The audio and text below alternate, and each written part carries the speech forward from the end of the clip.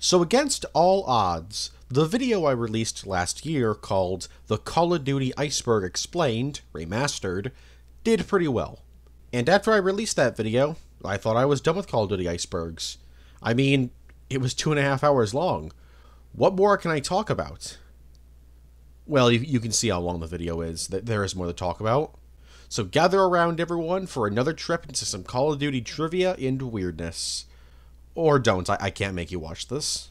You should probably watch the remaster before watching this, uh, but I can't make you watch that either, so your call, I guess. Nintendo Call of Duty games.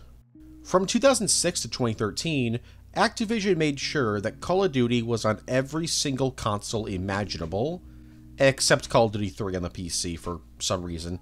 Don't know why they skipped out on that one. And so, in those seven years, there were 13 different Call of Duty games developed for the Nintendo Wii, Nintendo DS, and the Nintendo Wii U. For the Wii, there was Call of Duty 3, World at War, Modern Warfare Reflex Edition, Black Ops, and Modern Warfare 3. For the DS, there was Call of Duty 4, World at War, Modern Warfare Mobilized, Black Ops, and Modern Warfare 3 Defiance. And finally, for the Wii U, there was Black Ops 2 and Ghosts. Now, the Wii and Wii U versions of the games were mostly the same as their other console counterparts, just with lower quality graphics, less blood and gore, and of course, motion controls. For the Wii, that is. Also, no DLC. Except for the freefall map for Ghosts. That was included in the game. Oh, and there wasn't any zombies in World at War, and Kino was the only zombies map in Black Ops. Meanwhile, the DS games are a completely different story. Each of these games feature their own storylines, multiplayer maps, levels, characters, and weapons. For example, in Call of Duty 4 DS, instead of playing as Soap and Paul Jackson, you play as Zach Parker and Snowman. In World at War DS, there are no shotguns in the multiplayer at all, and the game features three different campaigns American, Soviet, and British. In Modern Warfare Mobilized, Zack Parker returns and goes after the villain Prince Farhad. There's also a survival mode that I talked about in the last COD Iceberg. In Black Ops DS, you have a very unique version of zombies that I'll talk about in its own entry in a little bit. And you mainly play through the campaign as Yuri Razlov or Michael Shaw. Also, Alex Mason actually appears in this game, and is the only console character to ever appear in one of these Nintendo DS games. And finally, for Modern Warfare 3 Defiance, you primarily play as the SAS, the Nevada National Guard, and the Alaskan National Guard. The game also serves as a direct prequel to the main console game. After 2013, Activision stopped releasing Call of Duty games for Nintendo consoles. However, very recently, it was announced that this would change and Call of Duty games would be returning to Nintendo consoles. Even more crossover characters. So, last time I went over a bunch of characters from multiple pieces of media who have made guest appearances in Call of Duty games. And since then, a bunch more have been added. Most famously, Godzilla and King Kong from the Monsterverse were central characters in Season 3 of Vanguard's multiplayer. There were even skins based on the two Titans and Mechagodzilla. The rapper Snoop Dogg has appeared in various different Call of Duty games. First in Ghosts as a voice pack, and most recently as a fully playable character in Vanguard's second season, and Call of Duty Mobile's 2022 third season. The T 800 and T 1000 Terminators from the Terminator franchise were added into Vanguard during its fourth season. The Armored Titan from Attack on Titan was also added into Vanguard as a skin for Roland. This happened literally right after I uploaded the first Call of Duty Iceberg. YouTubers iFerg, Bobby Plays, and Hawk's Nest were all made playable characters in Call of Duty Mobile during its 2021 11th season. Major Motoko, Batou, and Togusa from the Ghost in the Shell series were added into Call of Duty Mobile during its 2022 7th season. During Vanguard's final season, the characters Cha Cha and Hazel from the show and comic Umbrella Academy were added into the game as skins for operators. Football players Paul Pogba, Neymar Jr., and Messi were made playable characters in Modern Warfare 2's first season, and in Mobile's 2022 10th season. The basketball player Kevin Durant was added into Modern Warfare 2 as an operator during its third season. Streamers Tim the Tatman and Nick Nickmercs were added to Modern Warfare 2 as operators during its third season. On May 10th, 2023, a free Crash Bandicoot bundle was given out in the Modern Warfare 2 and Warzone 2 store. It wasn't any new skin or anything, it was just a collection of stickers and weapon charms featuring characters from the Crash Bandicoot franchise. But I thought I'd mention it here. And finally, Shredder from the Teenage Mutant Ninja Turtles series was added into Modern Warfare 2 during its second season. Also, while not a crossover with another franchise, Raul Menendez from Black Ops 2, Seraph from Black Ops 3 and 4, Rourke from Ghosts, and Al-Asad from the rebooted Modern Warfare series were added into Vanguard during its fifth season. Although technically this is the clone of Menendez from Black Ops 4 because of the eye patch, but I don't think anyone cares. Oh, and in Modern Warfare 2, there was a skin released for Gus that makes him look like Ethan from Infinite Warfare. Call of Duty Strike Team, developed by the Blast Furnace and released in September 2013 for iOS devices, in October 2013 for the Google Play Store, Call of Duty Strike Team is the first real attempt at bringing the Call of Duty experience to smartphones. It's a first person shooter that takes place in 2020 and is a kind of prequel to Black Ops 2. It is canon to the Black Ops continuity, or was, I'll get into that in a second. In the game, you play as four different members of JSOC Marshall, Reed, Chavez, and DeMarco, as they do missions in the Arctic, Afghanistan, and Hong Kong, battling alongside the Spetsnaz and Afghan National Army against the Mercs from Black Ops 2. As for the game's story, there's not really a ton there. It's just you going on missions, and sometimes you'll get a cutscene about how Cordis Die is expanding, or how President-elect Bosworth is doing some, like, epic stuff or whatever. But hey, Menendez makes a cameo at the end, so that's cool, I guess. Is it done? Yes, they engaged as you predicted. They believe it was destroyed along with the building. Good. We move to the next phase. They've stoked the fire. Soon they will feel the flames. Gameplay wise, Strike Team is normally a first person shooter. However, you can control a drone and command your squad that way, almost like the Strike Force missions from Black Ops 2. This was the main gimmick of the game. As for the weapons, Strike Team featured three different weapons for each class, minus the pistol class. And all of these weapons are from Black Ops 2, except the KS-23. Yeah, the Black Ops 1 campaign exclusive shotgun, it's here for some reason. You can use these weapons not only in the game's campaign, but in Strike Ops. This is a collection of smaller modes, like Time Attack, Domination, and Survival. And before you ask, no, there's no multiplayer. You were playing all of these modes against bots. The game received positive reviews, but was eventually taken off of all stores, meaning that the only way to play it nowadays is through emulators. iOS zombie games. There's been three different Call of Duty zombie games released for smartphones. The first being Call of Duty Zombies, released in November 2009. This game featured all four original World at War zombie maps, along with a new tutorial level where Richtofen dies and becomes a zombie. Obviously non-canon, but it'd be crazy if Richtofen became a zombie, right? Anyways, these are all basically just ports of the maps, with very minor changes, like how you can't jump. Also, Shi No Numa has the Peter's Grave Easter egg, which I talked about in the last iceberg. Originally, this app only had Nacht der Untoten. Verrückt would be added in February 2010, and Shi No Numa in June of the same year. But a day after Shi No Numa was added into the game, which by the way you had to pay 5 bucks for each of these maps, a sequel to the game was released called Call of Duty World at War Zombies 2. It was literally the exact same game, except instead of Nacht der Untoten, it came with Shi No Numa for free, and you had to pay for Verrückt and Nacht der Untoten separately for 5 bucks.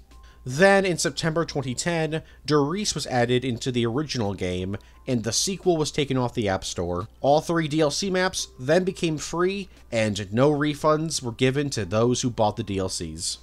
Sadly, this game would be removed off of the App Store in 2018, which means that the only way to play this game now is to use emulators. In December 2011, a true sequel was released, titled Call of Duty Black Ops Zombies and like the name suggests, it supports a Black Ops 1's Zombies mode. This game originally only came with Kino der Toten and Dead Ops Arcade, although Ascension and Call of the Dead Director's Cut were added eventually. And yes, you heard me right, Call of the Dead Director's Cut. This may sound pretty cool, but it's actually not that interesting. It's just Call of the Dead, but instead of the celebrity cast you play as, you play as Ultimis, which means that yes, you can't do the Easter egg in this.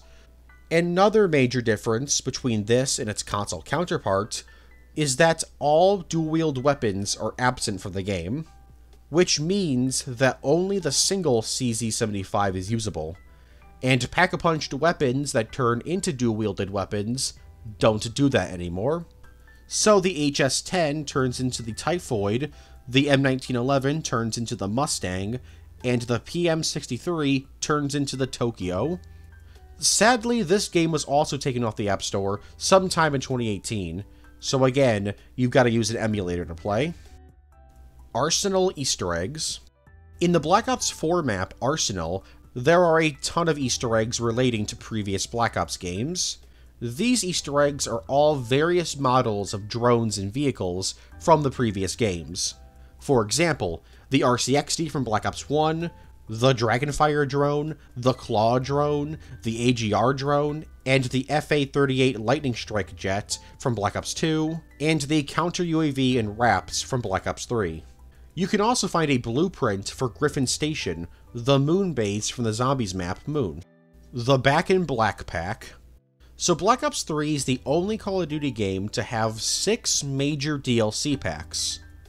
Now you might be a little confused. You'll more than likely remember that there were four standard DLC packs and the Zombie Chronicles for Black Ops 3.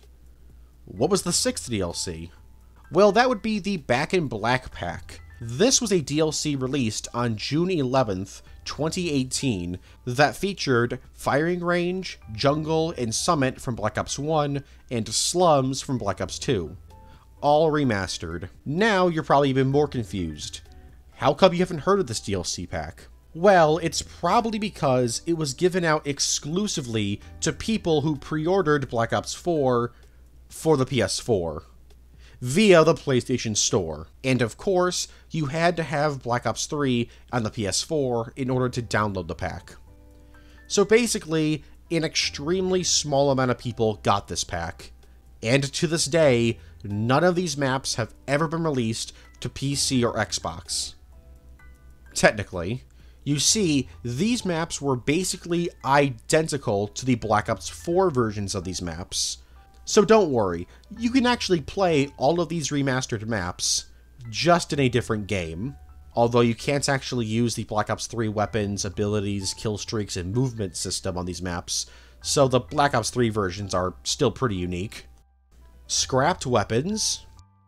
So I mentioned a ton of scrapped weapons in the previous video, but I forgot a few, and somehow forgot to include Black Ops 3.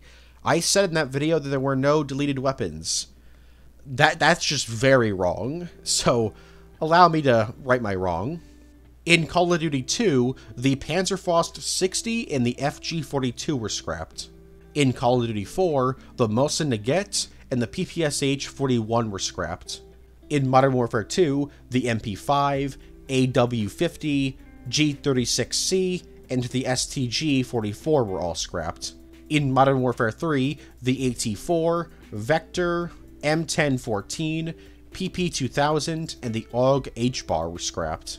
In Black Ops 2, the M4A1, Type 95, and the Strela 3 were scrapped. In Advanced Warfare, the Exo minigun, FAD, RSAS, M9 Beretta, and the MP7 were scrapped. In Black Ops 3, the Hammer, MP7, M27, the Remington 870 MCS, the SWAT 556, the Chaser, Type 25, MCAS, Patriot, FAL OSW, and Robot Gun were all scrapped. In Infinite Warfare, the ARACC and the Niagara were scrapped. In Black Ops 4, the HVK 30, Brecci, FFAR, SVG 100, and the KRM 262 were scrapped. In Vanguard, the River Rolls was scrapped. And finally, in Call of Duty Mobile, the 48 Dredge, Moors, and the Tracker Rifle were scrapped. Scrapped multiplayer maps. Just like with the last entry, I mentioned a ton of scrapped multiplayer maps in the last video. However, I didn't list them all, so here's most of the other ones I didn't mention. In Call of Duty 2, Fire Station, Train Yard, Sand Pit, Desert Bunker, Train Wrecker, River Crossing, Solange, Minsk, and Carrefour were scrapped. In Call of Duty 4, Overgrown Night, Favela, District Night, Ambush Night, Strike Night were all scrapped. In World at War, Encampment, Struggle, Lagoon, Casino, Subway, and Trenches were scrapped. In Modern Warfare 2, Arcadia, Riverwalk, White House, Plaza, Crib Basement, Mall, and a substation were scrapped. In Black Ops 1, Munich, Uranium, Snowmine, Pentagon, Rooftops, Sandstorm, Airbase, and Shipyard were scrapped. In Modern Warfare 3, Brooklyn, Warlord, and Meteora were scrapped. In Black Ops 2, Cruise was scrapped. This was probably turned into Hijacked. In Black Ops 3, Bypass, Freighter, Zoo, Confinement, Exile, Training, and Satosa were all scrapped. In Black Ops 4, Urban, Iceberg, wait a second, Museum, Valencia, Shipbreakers, and Glacier Dam were all scrapped. There was also an unnamed map that took place at an airport in a desert that was also scrapped. And there were two cancelled Chaos Zombie maps that were codenamed Morocco and Russia. These were obviously scrapped too. In Modern Warfare 2019, Boneyard, Trade, Ravine, Oasis, Bombsight, Invasion, Fallout, Hook, Theater, Townhouse, Discharge, Vanguard, and Millbase were all scrapped. Finally, in Call of Duty Mobile, the original shipment was scrapped. Scrapped equipment. For some reason, I didn't go over any scrapped equipment in the last video, so uh, I, will do that now. In Call of Duty 4, Thermite and the Sticky Bomb were scrapped. In World at War, Potatoes, Thermite, and the PMD-6 were all scrapped. In Modern Warfare 2, the Power Drill was scrapped. In Black Ops 1, the Satchel Charge, Flare, Acoustic Sensor, and the N74ST were all scrapped. In Call of Duty Ghosts, the Tactical Insertion was scrapped, although you could actually still use it in the Infected game mode. In Advanced Warfare, the Throwing Knife Exo Launcher and Explosive Bullets were scrapped. In Black Ops 3, the Molotov Cocktail, Bubble Shield, Boomerang, and the Speed Burst were all scrapped. In Infinite Warfare, the Bouncing Betty, Attack Drone, Black Hat, IED, Portal Generator, Mortar Mount, and Barrier were all scrapped. In Black Ops 4, the Semtex, Mini Turret, Camera Spike, DOT Grenade, Foam Grenade, Mini Wraps, Nightingale, Decoy, Armblade, and Boomerang were all scrapped. In Modern Warfare 2019, the flashlight, EMP grenade, and the pop rocket were all scrapped. And finally, in Black Ops Cold War, the razor wire was scrapped. Scrapped kill streaks. I mentioned a bunch in the last video, but I forgot to mention a few of them, so uh, here's the here's the few I, I didn't mention. In Modern Warfare 2, the Super Airstrike, Thumper, yeah, the Thumper is going to be a kill streak, Advanced UAV, Tank, Little Bird, and Auto Grenade Launcher were all scrapped. In Black Ops 1, the AA gun, artillery, and the MP40 were all scrapped. Uh, yeah, the MP40 was going to be a kill streak. Although I take that back, it was it was more than likely just a test kill streak. In Black Ops 2, the chopper gunner was scrapped. In Call of Duty Ghosts, the recon marker, sentinel, scout drone, and salvo drone were scrapped. In Advanced Warfare, super exosuit and the local security network threat detection system were scrapped. In Black Ops 3, the Hunter Killer, Dragonfire, War Machine, Death Machine, Lodestar, K9 Unit, Swarm, and Escort Drone were all scrapped. In World War II, the Advanced Recon Aircraft was scrapped. In Black Ops 4, the Talon, Wraith, and Power Core were scrapped. Scrapped game modes. For some reason, I didn't go over scrapped game modes, except for like a few individual ones, like uh, Black Ops 2's Hacker mode in the last video. So uh, here's here's all the scrapped game modes, or at least most of them. In Call of Duty 4, Acquisition, Capture the Flag, and Tag were scrapped. In Modern Warfare 2, Die Hard, VIP, One Flag, Capture the Flag, DEFCON, and Arena were scrapped. In Black Ops 1, War from World at War was scrapped. In Modern Warfare 3, Grinder was scrapped. In Black Ops 2, Purgatory, Team Defender, and Hunted were scrapped. In Call of Duty Ghosts, Headquarters, Capture the Flag, Sabotage, Demolition, and Team Defender were scrapped. In Advanced Warfare, KOTM, ATDM, and Boot were scrapped. In Black Ops 3, Old School, Sudden Death, Resistance, and Purgatory were scrapped. In Infinite Warfare, Blitz, Sabotage, Team Defender, One in the Chamber, Mugger, Juggernaut, Team Juggernaut, and Siege were cut. In World War II, Lockdown, Control, and Sticks and Stones was scrapped. In Black Ops 4, Uplink, Frontline, Payload, Stronghold, Infiltration, War from uh, World War II, and Hostage were scrapped. In Modern Warfare 2019, DEFCON, Combat Outpost, multi-team musical chairs, yeah, I don't I don't I don't know either. Prop Hunt, Mugger, Rush, High Value Target, and Hostage were all scrapped. Finally, in Vanguard, Gunfight and Infected were scrapped. Also, Cranked and Gun Game were planned for zombies in that game, but were both scrapped. World at War Final Fronts. Developed by Rebellion Developments, Call of Duty World at War Final Fronts is a spin off game released in November 2008 exclusively for the PlayStation 2. At first glance, this game may just seem like a port of World at War. But the truth is, Final Fronts is a completely different game with completely new levels and storylines. For example, there is no Soviet campaign at all.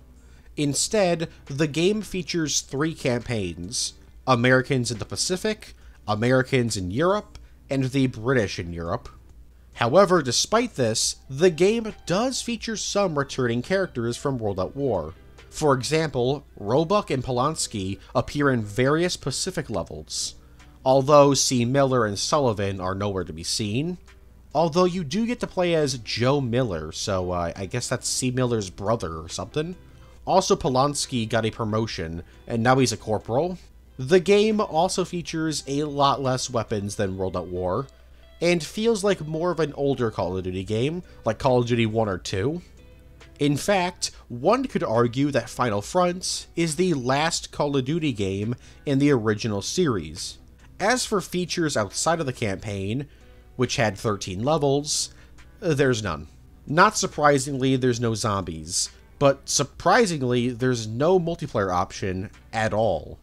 Which is odd because both Finest Hour and Big Red One, Call of Duty games that were also released on the PS2, featured multiplayer. Now, some may wonder why Final Fronts was even made, as Call of Duty 3, 4, and World at War were all released for the Xbox 360, Nintendo Wii, and the PS3. And it's actually pretty simple. The PlayStation 2 is the highest selling console of all time, with 155 million consoles sold. So people were still playing the PlayStation 2 in 2008. So Activision simply wanted to have a Call of Duty game on every major console.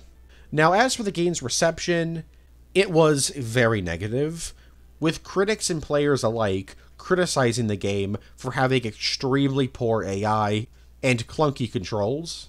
World at War DLC 4. Originally, World at War was going to have four DLC packs, the first Call of Duty to do so. However, the fourth DLC pack was cancelled as it would release too close to Modern Warfare 2's release, and Activision didn't want to divide their player base. Although it was just a DLC pack, I don't think there'd be like people out there who would not buy Modern Warfare 2 because World at War got like three new maps and a new zombies map. We know for a fact that Kino der Toten was going to be included in this pack, but as for the multiplayer maps, nobody knows. There's been some theories and kinda leaks that suggest that perhaps this would have been a Zombies exclusive DLC, with the other three maps being extremely early and very different versions of what would end up being Call of the Dead, Moon, and Ascension. Moon being Paris, that is. One thing's for sure, though this DLC pack didn't happen. Black Ops Declassified. Released in November 2012 for the PlayStation Vita and developed by Nihilistic Software, Black Ops Declassified was Call of Duty's only attempt at a Vita game. That is, if you don't count Roads to Victory, a PSP Call of Duty game that got a Vita port exclusively released digitally. Anyways, as for Declassified, people did not like it. Uh, but let's back up a bit. Black Ops Declassified serves as a spin off to Black Ops, though it does connect pretty heavily with the 1980s missions in Black Ops 2. Taking place in the mid to late 1970s, you play as Alex Mason and Frank Woods as they go on various missions that are designed like their Modern Warfare Spec Ops levels. You travel to Vietnam, Afghanistan, Russia, Germany, etc. as you do your classic Call of Duty stuff shoot people and blow stuff up. Yeah, plot wise, there's not really anything that important to the Black Ops series, outside of the last level, where you play as an unnamed CIA agent who assassinates Menendez's dad. You even get to see a young Raul Menendez in this level. Although there is one level in the game where you play as Woods, who's investigating a dude named Adolf Schutzel, who's trying to resurrect Project Nova. You even travel to Mount Yamantau. So I guess this is important, although it's never mentioned anywhere else in the series. Anyways, gameplay wise, Declassified plays like a Modern Warfare Spec Ops mission, except the enemies deal a lot of damage, and the enemy AI is very inconsistent. Also, because these levels play like Spec Ops levels, there's no checkpoints. So if you die at the end of a level, you gotta do the whole thing over again. Outside the campaign, there's three other game modes. There's Hostiles, which is basically a watered down version of Modern Warfare 3's survival mode. Time Trials, which are like the levels SSDD and FNG from the Modern Warfare series, shoot targets as fast as possible. And then there's the multiplayer, which is basically just a store brand version of Black Ops 1's multiplayer. Weapon wise, you got a decent chunk of Black Ops 1's weapons, like the Commando, Crossbow, CZ75, China Lake, etc. Although there are some interesting inclusions. For example, the Striker and PP90M1 from Modern Warfare 3 are both in this game, as is the 357 Magnum from World at War. Map wise, the game has a variety of different remakes and remixes of older Call of Duty maps. There's only six in the game. Shattered, which is, I think, the only completely original map. The COD wiki says it's based on Cracked from Black Ops 1, but I don't really see it. Container, which is just a remake of Shipment. Range, which is a weird cousin of Firing Range, Intel, which is kinda like Grid from Black Ops 1, Rocket, which is a kinda remake of Dome from Modern Warfare 3, and the iconic Nuke House. Yeah, they took Nuketown and cut it in half, so you could only play on the yellow house side. Lastly, I want to mention how this game actually has some fairly unique enemy factions. For example, you fight against the Stasi in one level in the campaign, and in one map in Hostiles. They're the East Germany Secret Police, and until Call of Duty Cold War, this was their only appearance in the series.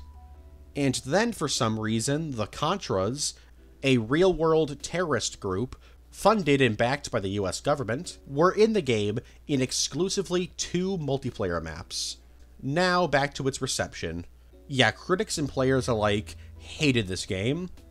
It was extremely buggy, the AI was bad, the campaign's story was basically non existent, and the campaign's gameplay was annoying and short. You could literally beat the game in under an hour. Some have even called this game one of the worst games of all time. And I think that's a huge overreaction. I've actually played Declassified quite a bit back in the day. It's not good, don't get me wrong, but it's mindless fun. At least the multiplayer was. I think there are still lobbies to this day, which just goes to show you that this game has a cult following. The Black Ops timeline is broken, so before the release of Black Ops Cold War, the timeline for the Black Ops series was pretty simple. World at War, Black Ops 1, Black Ops Declassified, Strike Team, Black Ops 2, Black Ops 4, and Black Ops 3. However, with the release of Cold War, it became complicated because of the inclusion of Modern Warfare reboot characters in the campaign. At first, I thought that this just meant that some Modern Warfare characters existed in both the Modern Warfare timeline and the Black Ops timeline. But no, it's been confirmed that the new Modern Warfare games, alongside Vanguard and World War II, are canon. Now, Vanguard in World War II being canon is fine, that doesn't really change anything. But now that Modern Warfare is canon, how can Black Ops 2 be canon because Modern Warfare 2019 takes place in 2019, with its Warzone storyline taking place in 2020, and Modern Warfare 2 takes place in 2022, with its Warzone slash Raid storyline taking place in 2023. So, in the Call of Duty universe, how do they go from modern day technology to floating megacities, invisibility suits, Spider Man gloves, mini tank drones, jetpack like gliders, orbital kinetic strike weapons, jet VTOLs, helicopter drones, and weird spider drones with taser weapons in just two years. Now, the easy answer is just don't think about it. But I think the actual answer is that starting with Modern Warfare 2019, all Call of Duty games going forward will be the set canon. So right now, the timeline looks like World at War, World War II, Vanguard, Black Ops 1, Black Ops Cold War, Modern Warfare 2019, and Modern Warfare 2. Of course, this could all be proven completely wrong if the next Treyarch game is a direct sequel to Black Ops 2, like a lot of the leaks are saying. But as of right now, I think there's two different Black Ops timelines. Blackout Origins, the Blackout map from Black Ops 4 is made up of a bunch of different multiplayer maps, zombie maps, and in some cases even campaign levels from previous Black Ops games. Here's most of the references found in the map. The section of the map called Array is heavily inspired by the Black Ops 1 map of the same name. The Asylum area is literally just the entire World at War Zombies map, Verrückt, along with a small hedge maze and gazebo that's referencing the Black Ops 2 Zombies map, Buried. The area firing range is heavily inspired by the Black Ops 1 multiplayer map of the same name. The boxing arena from the Black Ops 3 Zombies map, Shadows of Evil, is in the Rivertown area. The area Cargo Docks is heavily inspired by the Black Ops 2 map, Cargo. The area Nuketown Island is heavily influenced by the Black Ops 1 map, Nuketown. The diner and the building and shed next to it from the Black Ops 2 Zombies map Transit appear on the map. The area hijacked is literally just the entirety of the Black Ops 2 map hijacked. The blast doors that can be opened and closed from the Black Ops 1 map Radiation are featured in the fracking tower area. The lighthouse area is heavily influenced by the lighthouse from the Black Ops 1 Zombies map Call of the Dead. The turbine area is heavily influenced by the Black Ops 2 multiplayer map Turbine. The barn from the Black Ops 3 map Fringe is located in Rivertown.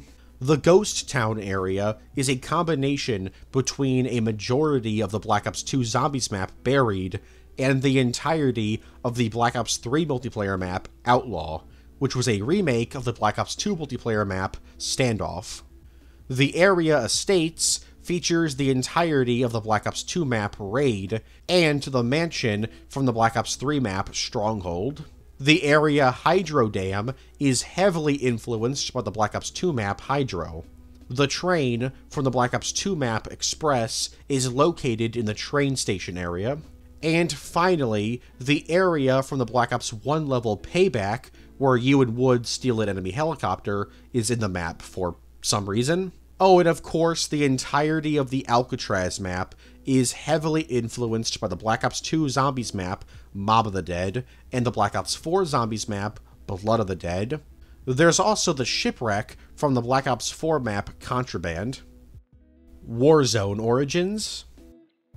While Blackout was mostly made up of pieces from Black Ops multiplayer and zombie maps, Warzone's maps are different in that they're mostly original with some classic maps sprinkled in. For example, in the original Verdansk, you could find the entirety of the Modern Warfare 2 map Scrapyard in the Boneyard area. In the port of Verdansk, you could find the entirety of the Call of Duty 4 map Vacant. In the TV station area, you could find the entirety of the Call of Duty 4 map Broadcast. The prison complex area is heavily influenced by the Modern Warfare 2 campaign level, the Gulag. And finally, near the military base area, you can find a recreation of the Call of Duty 4 map Kill House. Next, in Verdansk 84, some more maps were referenced or flat out just placed in the Battle Royale map. In the farmland area, you could find the Black Ops 2 map Standoff. North of the Tavorsk district, you could find the Call of Duty 4 map Shipment, or at least a recreation of it and the Summit area is a combination between the Black Ops campaign level, WMD, and the Black Ops 1 map, Summit. The Warzone map, Rebirth Island, is a direct reference to the Black Ops 1 level, Rebirth, taking place on the same island. However, design wise, this map is nearly identical to the Blackout Alcatraz map. In Caldera, in the docks area, you can find a recreation of the Call of Duty 4 map, Shipment. In the beachhead area, you can find a majority of the World at War map, Makin. In the fields area, you can find a majority of the Modern Warfare 2019 map, Livestock. In the runway area, you could find the famous World at War bunker, which was featured in the World at War level, Hard Landing, and the multiplayer map, Airfield, along with it being the location of the World at War Zombies map, Nacht der Untoten. And finally, Storage Town from Verdansk was added into Caldera in Season 4. And uh, as far as I know, Fortune's Keep is 100% original. But that's not all for Warzone, as the Gulag changed throughout Warzone's lifespan. In Warzone's lifespan, the Gulag was changed around to reference Black Ops 1's Nuketown, Black Ops 2's Standoff, Black Ops 2's Rush, Black Ops 2's Hijacked, and Modern Warfare 2's campaign level, The Gulag. Warzone 2 Origins Warzone 2 is similar to the original in that it features various locations from previous Call of Duty games in its maps. In Al Mazrah, in Taraq Village, you can find the Call of Duty 1 map, Neuville. In Akhdar Village, you could find the Call of Duty 4 map, Showdown. In Al Mazrah City, you could find the Modern Warfare 2 map, High Rise. In the airport area, you could find the Modern Warfare 2 map Terminal. In the cave complex area, you could find the Modern Warfare 2 map Afghan. In the quarry area, you could find the Modern Warfare 2 map Quarry. In the Hafid Port area, you could find the connected warehouses from the Call of Duty 4 map Pipeline. In the Zaya Observatory area, you could find the Modern Warfare 3 map Dome. Near Taraq Village, you could find the Modern Warfare 2 map Rust. In the Hafid Port area, you could find a recreation of the Call of Duty 4 map Shipment. And finally, you could find the main warehouse from the Modern Warfare 2 map Storm. As for Ashika Island, you could find a recreation of the Call of Duty 4 map Shipment. Call of Duty Heroes Released in November 2014, Call of Duty Heroes is a real-time strategy game that takes heavy influence from the video game Clash of Clans. In this game, you create your own military base and take on enemy bases in the game's campaign, or against other players' bases. In order to attack these bases, you would need to train a variety of different soldiers, vehicles, drones, and heroes from various Call of Duty games. In order to do this, you would need to farm oil, gold, diamonds, and celerium. As for the units that you could train, you had your standard soldier, juggernauts, FTL soldiers, claw drones, AGR drones, paratroopers, pause robots, Goliath mechs, quad tanks, and even a zombie drop pod that drops zombie reinforcements. As for the heroes, each hero had their own unique skills, and usually came with a kill streak they could use. And by they, I mean you. The heroes included were Captain Price, Ghost, and Soap from the original Modern Warfare trilogy, Wallcroft of all characters from COD 4 and Modern Warfare 3, Yuri from Modern Warfare 3, Harper from Black Ops 2, Ilona from Advanced Warfare, Riley from Ghosts, Outrider from Black Ops 3, Daniels from World War II, Ethan from Infinite Warfare, Gideon from Advanced Warfare, Reaper from Black Ops 3, Camille Dennis from World War II for some reason, Primus Richthofen from Black Ops 2 and 3, and Menendez from Black Ops 2. Uh, not much of a hero there. Sadly for Heroes fans, this game wasn't meant to last forever as in December 2018, the game was shut down permanently. Live action trailers. Starting in 2010 and seemingly ending in 2016, Call of Duty has released a variety of different live action comedic trailers for their games. For Black Ops 1, there was There's a Soldier in All of Us, which features both Kobe Bryant and Jimmy Kimmel. Then there was Zombie Labs, which I talked about in the last iceberg, then, in 2011, there was The Vet and the Noob, which starred Sam Worthington and Jonah Hill. In 2012, there was Surprise, which featured FPSRussia, I iJustine, Omar Sy, and Robert Downey Jr. In 2013, there was Epic Night Out, which featured Megan Fox. In 2014, there was Codnapped, which featured Stephen Graham. In 2014, there was also Discover Your Power, which featured Taylor Kitsch. In 2015, there was Randall Higgins, Kill Cameraman, which featured Rob Huebel. Also in 2015, there was Seize Glory, which featured Michael B. Jordan, Marshawn Lynch, and Cara Delevingne. And finally, in 2016, there was Screw It, Let's Go to Space, featuring Michael Phelps and Danny McBride.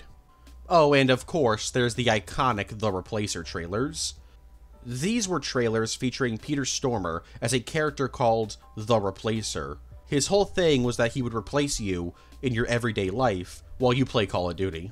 There were three trailers made for Black Ops 2, one for Black Ops 3, and one for Black Ops 4.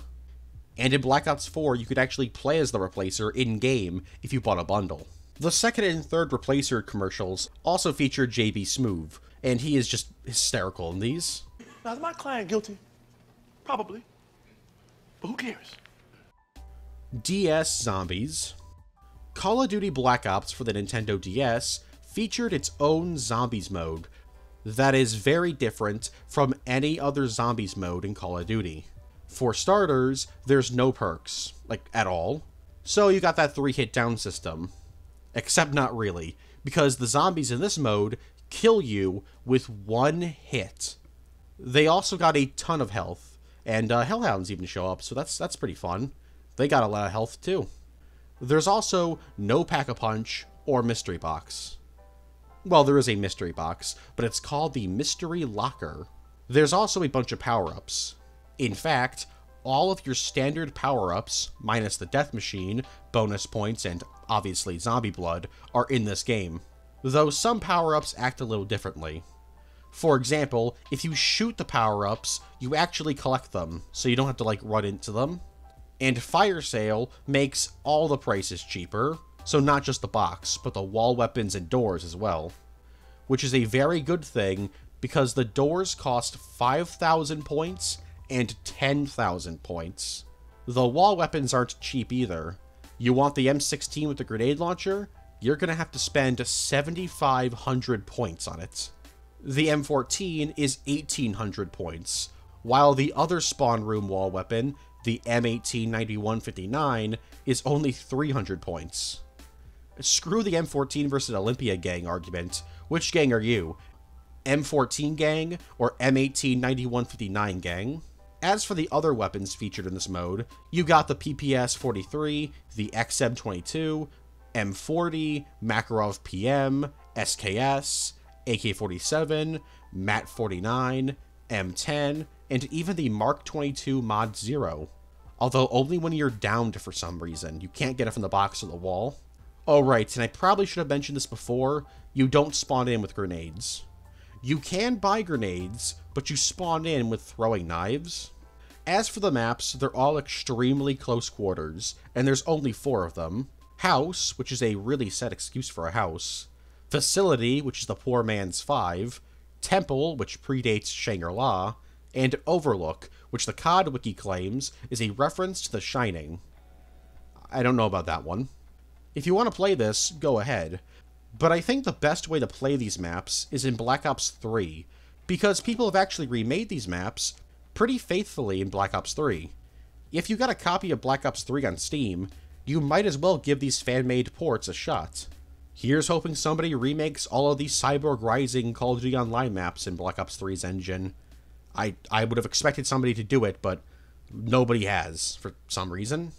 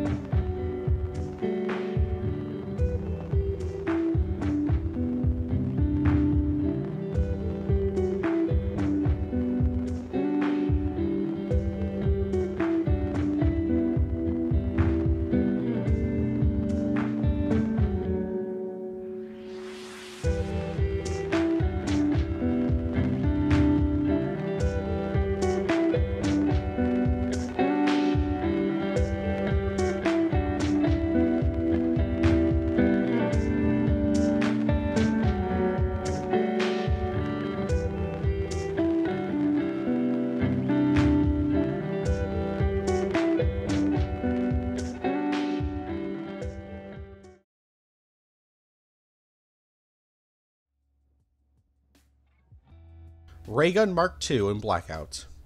The Raygun Mark II is one of the most popular wonder weapons in zombies. However, many people don't know that there's actually a secret variant of the Mark II in Blackout. Many don't even know that it's even in Blackout. Wonder weapons are already extremely rare in the mode, and the Mark II doesn't even spawn normally on the ground or in chests. Instead, the only way to get it is by doing an Easter egg where you throw a combat axe into a dartboard in the saloon area in the buried section of Ghost Town. This will open up a cell with a question mark on the wall. Head over there, and you'll now be able to grab the Mark II from the wall. Now, this Mark II functions the exact same as the standard Mark II. However, it has a unique color scheme not found in any other place in the series.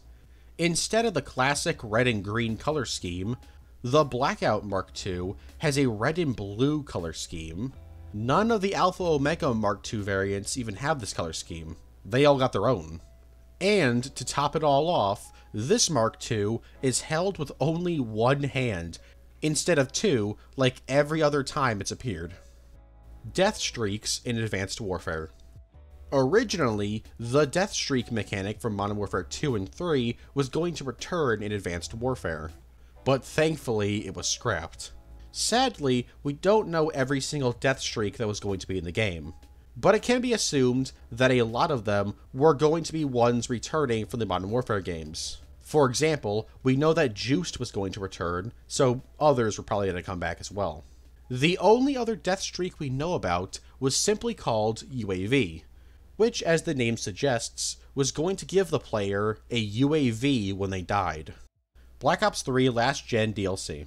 Now, Black Ops 3 on the PS3 and the Xbox 360 is a pretty big meme in the Call of Duty fanbase. For those that don't know, Activision released Black Ops 3 on the PS4, Xbox One, and PC, along with the PlayStation 3 and Xbox 360. These two previous gen versions of the game were pretty bad. They weren't unplayable, but they were not good. For starters, the campaign, Nightmares mode, and free run mode were all removed. So it was just zombies and multiplayer with terrible graphics. Seriously, it cannot be understated how horrible the graphics were in this game. Because of the state the game was released in, nobody expected this game to get post launch support. But shockingly to pretty much everyone, last gen Black Ops 3 actually received two pieces of DLC one of which being the zombies map The Giant, and the second being the entire first DLC pack for Black Ops 3, Awakening. These DLCs weren't even released at the same time as the other consoles, with Awakening being released for the PlayStation 4 in February of 2016 and the Xbox One and PC in March 2016, while the PS3 version was released in April 2016 and the Xbox 360 version in May 2016 while The Giant was released for the PS3 in June 2016 and the Xbox 360 in July of 2016. There were some rumors that the second Black Ops 3 DLC pack, Eclipse, was going to eventually come to last gen consoles as well, but this never ended up happening. Warzone Mobile Multiplayer. In Call of Duty Warzone Mobile, you can actually play standard team deathmatch and domination, but like not on Verdansk or any of like the battle royale maps. Nope. There's an entire part of Warzone Mobile dedicated to standard 6v6 combat. This mode was made to allow players in both Warzone 2 and Warzone Mobile to grind out their weapon levels, camos, etc., as it's kinda hard to grind out these things in a Battle Royale mode.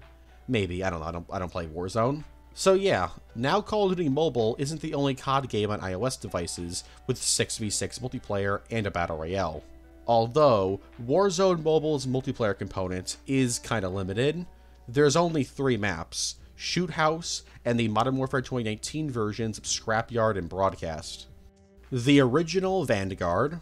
So before Call of Duty Vanguard was revealed, pretty much every single leak for the game was stating that Vanguard was going to follow an alternate history version of World War II, where the war continued after 1945. A really interesting idea, in my opinion. However, when the game was released, it turned out that this wasn't true, at all.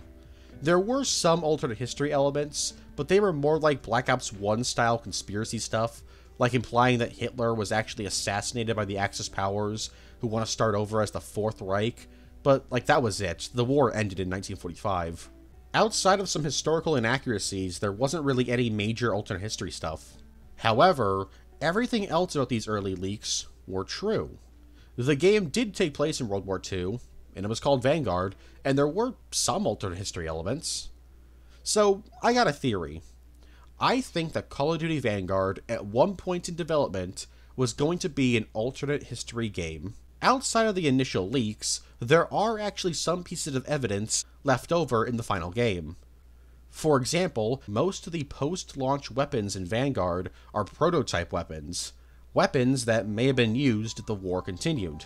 There's also the existence of the Fourth Reich in the campaign, and the whole Hitler assassinated thing, so, you know, that's evidence. And finally, there's the Flamenaut in War Machine, which would be right at home in an alternate history World War II game. So, that's my theory. Vanguard was at one point meant to lean into the alternate history angle, but Activision or whoever had Sledgehammer get rid of most of it. Why? I don't know, it's Activision. These guys are now selling sounds in Call of Duty. These dudes don't make any sense. Breaking Bad RV. On the Modern Warfare 2 multiplayer map, Santa Seña Border Crossing, and by extension the Ground War and Invasion map, Santa Seña, you can find an RV that has duct tape on its door. While it may seem like a nothing little detail, it's actually a direct reference to the RV from Breaking Bad. Isolated Origins. So Call of Duty Mobile has its own Battle Royale mode, different from Warzone, Blackout, and Warzone 2, called Isolated.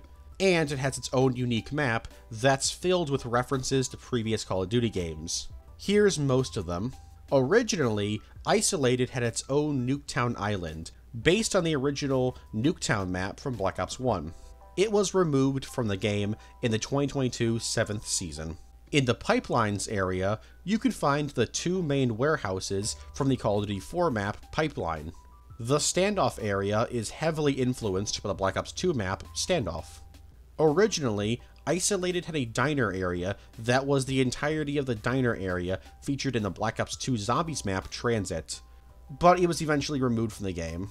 The Kill House area features the entire multiplayer map Kill House from Call of Duty 4. The Launch Base area is heavily influenced by the Black Ops 1 map Launch. The farm area is pretty much the entirety of the farm area featured in the Black Ops 2 Zombies map Transit and by extension, the zombie survival map, Farm. The Countdown area is heavily influenced by the Call of Duty 4 map, Countdown. Originally, Isolated had a crash area that took heavy influence from the Call of Duty 4 map, Crash. However, it was eventually removed as well.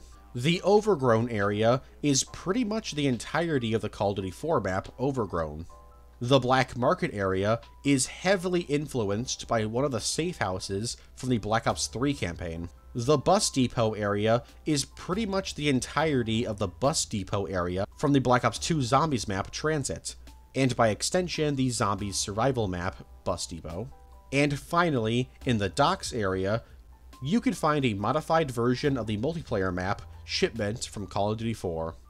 As of right now, there's been 16 different variations of shipment over the years, not counting Call of Duty Mobile multiplayer ports. Please just come up with a new small map. Scrapped Vanguard furry skin. Towards the end of Vanguard's lifespan, it was revealed that a skin titled the Loyal Samoyed was being added into the game as part of the Floof Fury Tracer Pack. However, it would never end up being in the game because it was stolen. You see, Activision stole from artist saillin, who uploaded this piece of art titled Samoye Medical in 2019 to ArtStation. And before somebody says, this was just a coincidence, Activision didn't steal anything, Activision has pretty much confirmed that they did steal it, stating, quote, we have the utmost respect for creativity and content creation. We love the loyal Samoyed.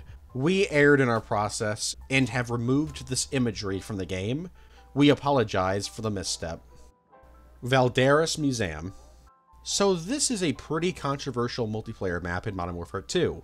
It's not controversial because of its layout or anything, but instead because of Activision being scummy as usual. You see, this map was supposed to be in Modern Warfare 2 at launch, and was even one of the few playable maps in the game's private and public betas. However, when the game released, this map was nowhere to be found. Activision have never explained why it was removed, though many players have speculated that it was removed because of potential legal issues, as this map is actually based on a real museum called the J. Paul Getty Museum in California. It was speculated that perhaps this museum didn't want to be represented in a violent first person shooter. However, whatever issue there was had presumably been solved by February of 2023, as the Valderas Museum was added back into the game, but not in an update, like a little like bonus to players. No, it was advertised as a new map in Season 2, despite it being, you know, not a new map.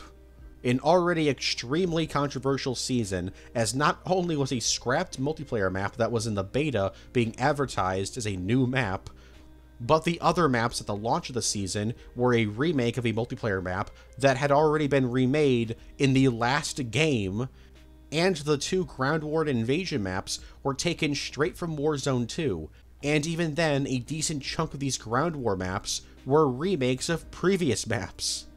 One of them being the remake that was released the very same season, and all of the new game modes weren't new, but instead previous modes from older games, and some of them, like Gun Game, Drop Zone, and Infected, should have been in the game at launch.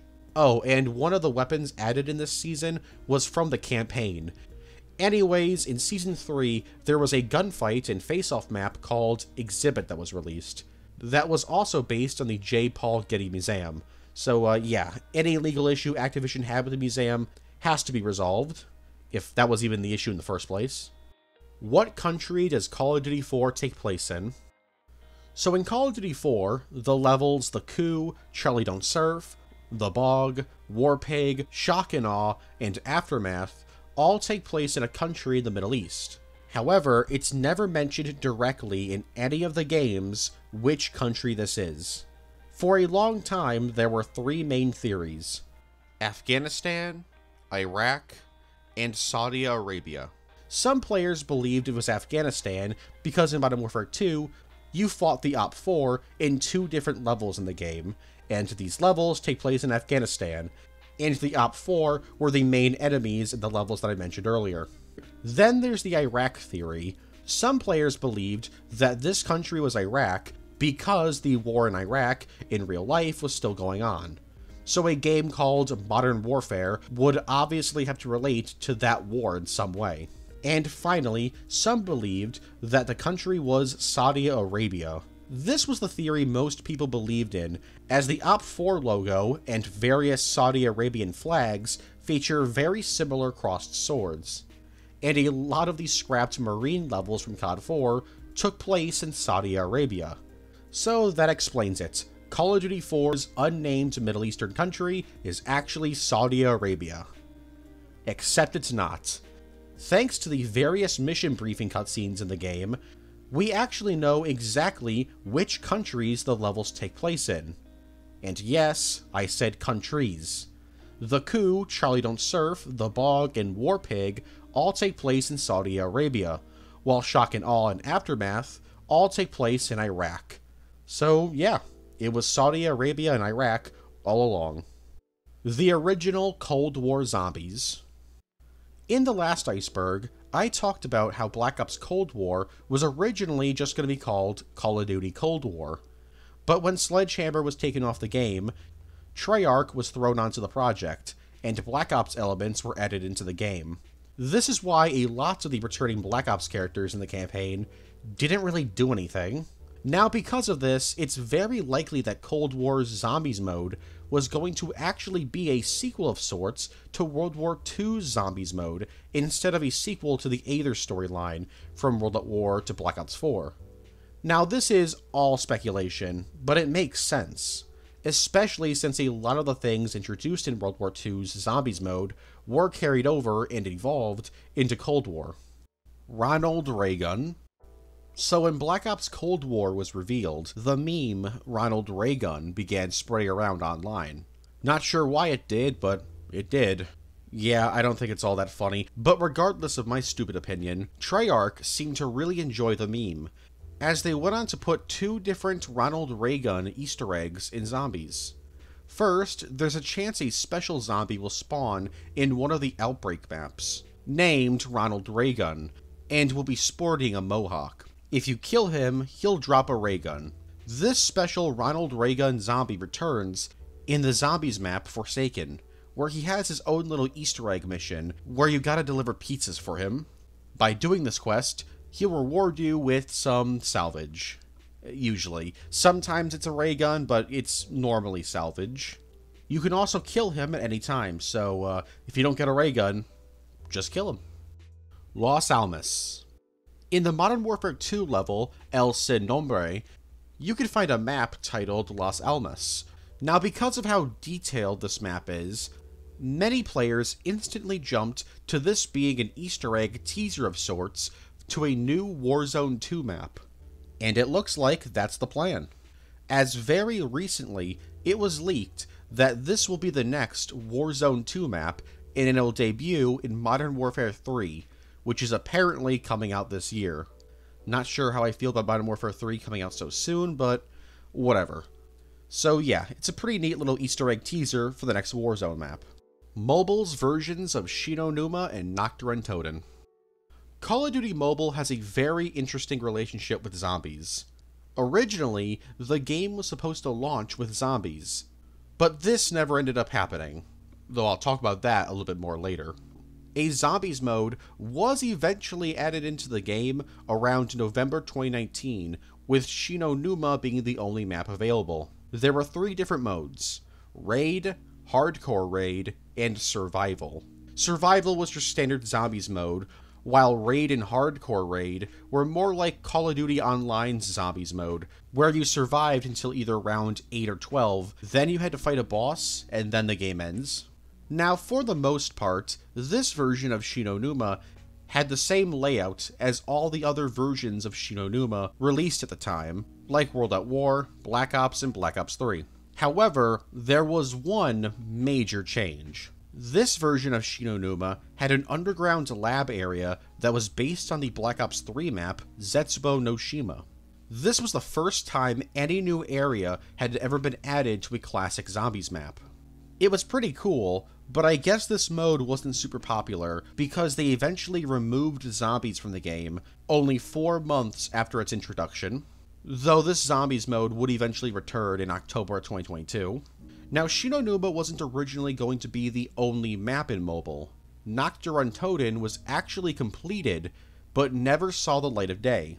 The reason I'm mentioning this here, and not in the scrapped maps entry in the video, is because Nacht der was playable to the public early in 2020, though it wasn't supposed to be released. It was found in the game's files, and somehow made playable by downloading a separate app or something. I don't really know the process behind that. But when you got on there, you would find that this Nacht der Untoten is extremely different than any other version of the map. For example, not only are there perk machines scattered around the map, but also the Pack-a-Punch. And there's a bunch of new areas. Predating Die Maschine by almost a year, you could go into the other upstairs area of the bunker and even go out into the backyard to fight zombies there. Also, the crashed World War II plane that's back there was replaced with a crashed Sea Knight helicopter that I'm pretty sure is taken directly from the map crash. Also, for some reason, I, I guess for enemy variety's sake, they added in the napalm zombies from Shangri-La, Hellhounds, and the Denizens from Transit. The Denizens even have a new ability. They can hop on zombies and make them stronger. Shi No Numa also had some new enemies, like the Avogadros, Brutus, Napalm zombies, and a new boss zombie called the Abomination. Also, both Shi No Numa and Nacht der Untoten had stories to them. Shi No Numa even had a comic book style opening cutscene, and both maps featured various diary entries you could find scattered around the map. Stinger. So, for some reason, the Browning LMG wasn't in World War II's multiplayer. As a normal weapon, I, I know it's on the Sherman tanks. Or at least that's what a lot of people think. In actuality, the Browning is in the game's multiplayer as the Stinger. Now, at first glance, this looks like some kind of weird modified version of the Browning. And that's because it is. In 1943, Sergeant Mel Grivich and Private First Class John Little created the Stinger in order to make the M1919 Browning a more portable weapon. Mel would create six of these stingers and hand them out to his fellow soldiers. These stingers were built using the M1919 Browning as a base, and they had the bipod and rear sight taken from a BAR, and a stock taken from an M1 Garand. Just a little obscure history fact for you. I still wish the normal Browning was usable in multiplayer, especially since it's in the campaign, but the Stinger is a pretty cool little obscure weapon. Coffin Dance. In the Cold War Zombies map Die Maschine, if you shoot at five different orbs in the particle accelerator room, you'll be teleported into the dark ether, where you'll be met with some zombies recreating the coffin dance beam with a loot box. You'll then be teleported back to the real world, and the crate can now be opened for a variety of rewards, including Juggernog or a ray gun. Campaign exclusive weapons. Not every weapon in a Call of Duty game is usable in the multiplayer. In the last iceberg, I went over some weapons that made cameo appearances in Call of Duty games, but aren't normally usable, like the RPG-7 in Ghosts, or the KAP 45 in Black Ops 3. So I'm not going to talk about any of these here, because I already talked about them, and most of them weren't even usable to begin with. So here's a list of all the campaign exclusive weapons that are usable in the Call of Duty series, starting with Call of Duty 4. Also, yes, a handful of these weapons were also in Zombies and or Spec Ops and or Warzone, but uh, whatever. I just like they're basically campaign exclusive. if you can't use them in multiplayer, they're here. In Call of Duty 4, there was the Javelin and the FIM-92 Stinger. In World at War, there was only the Panzer Panzerschreck. In Modern Warfare 2, there was the M1911, the W1200, and the Dragunov. In Black Ops 1, there was the non-explosive crossbow, the DSHK, Panzerschreck, MG42, Mosin Nagant, PPSH-41, Sten, KS-23, Model 1887, STG-44, MP-40, Tokarev, and the Harpoon launcher. In Modern Warfare 3, there was the M14 EBR, the DSHK, AK-74U, and the M9 Beretta. In Black Ops 2, there's a lot because Black Ops 2 had its own create a class system. This included the RPG-7, M16A1, FIM-92 Stinger, MP5, Spaz-12, Olympia, Spring Knife, Browning HP, Makarov, M1911, Uzi, DSHK, AK-74U, Galil, AK-47, FAL, Barrett 50 cal, Dragunov, M60, Storm PSR, minigun, the manual crossbow, RPD, MM1 grenade launcher, Titus 6, and the Valkyrie launcher. In Call of Duty Ghosts, there was the APS underwater rifle and the MTAR X2. In Black Ops 3, there was the Spike launcher, Death Machine, and Micro Missile launcher. In Black Ops 4, there's no campaign. But there are blackout weapons that only appear in Blackout and Zombies. These include the MP40, SX Model 07, and the Zweihander. In Modern Warfare 2019, there was the AK-12 and the MGL-32 grenade launcher. In Cold War, there was the Tranquilizer gun, bow and arrow, and the M16A1. In Vanguard, there was the Lee Enfield and the M2 flamethrower. And finally, in the second Modern Warfare 2, there was the RGL-80. Alex is Roach. So here's a theory that I actually believe. The theory states that Alex, in the new rebooted Modern Warfare timeline, is this universe's Roach.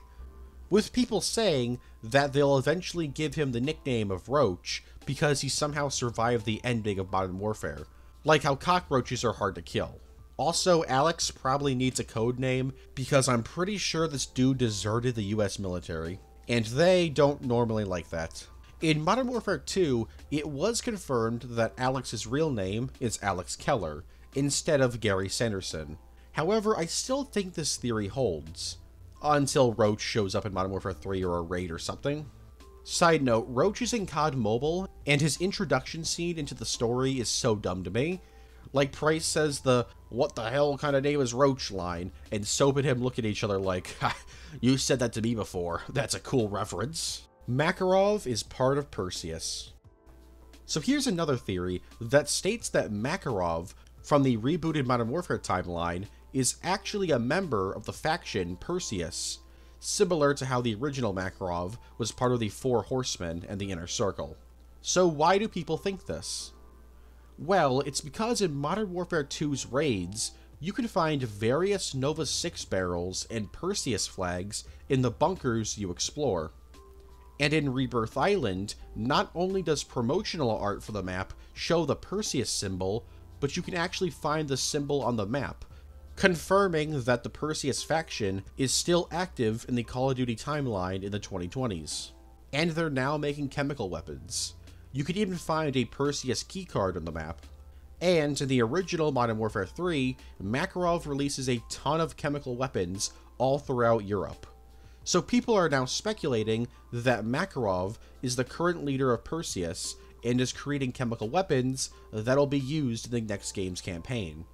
And honestly, the more I think about it, the more I actually believe this theory. Fish AI. During the world premiere for Call of Duty Ghosts, Infinity Ward made a weird deal about Fish AI. They talked about how the fish, in one single level, will move out of the way like real fish.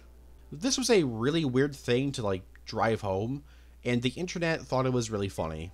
So the Fish AI became a meme for a while. However, Mark Rubin, a former executive producer at Infinity Ward, claimed in 2013 that this whole thing was a joke. That Infinity Ward only brought up the fish AI because they thought it would be a funny joke. Nobody believes him though, there was no way this was an intentional joke. Undead Siege. Originally being released in August of 2021, Undead Siege is Call of Duty Mobile's big zombies mode but it was removed in September 2021, but brought back in October 2021, but then removed again in November 2021, but then was brought back in December 2021, but was then removed from the game again in May 2022. Anyways, Undead Siege takes heavy influence from Cold War's Outbreak mode alongside Call of Duty Online's 7 Days of Siege mode. Basically, Undead Siege has you looking around for loot and weapons of all kind during the day, but when it turns to night, you gotta protect a base that's being attacked by zombies.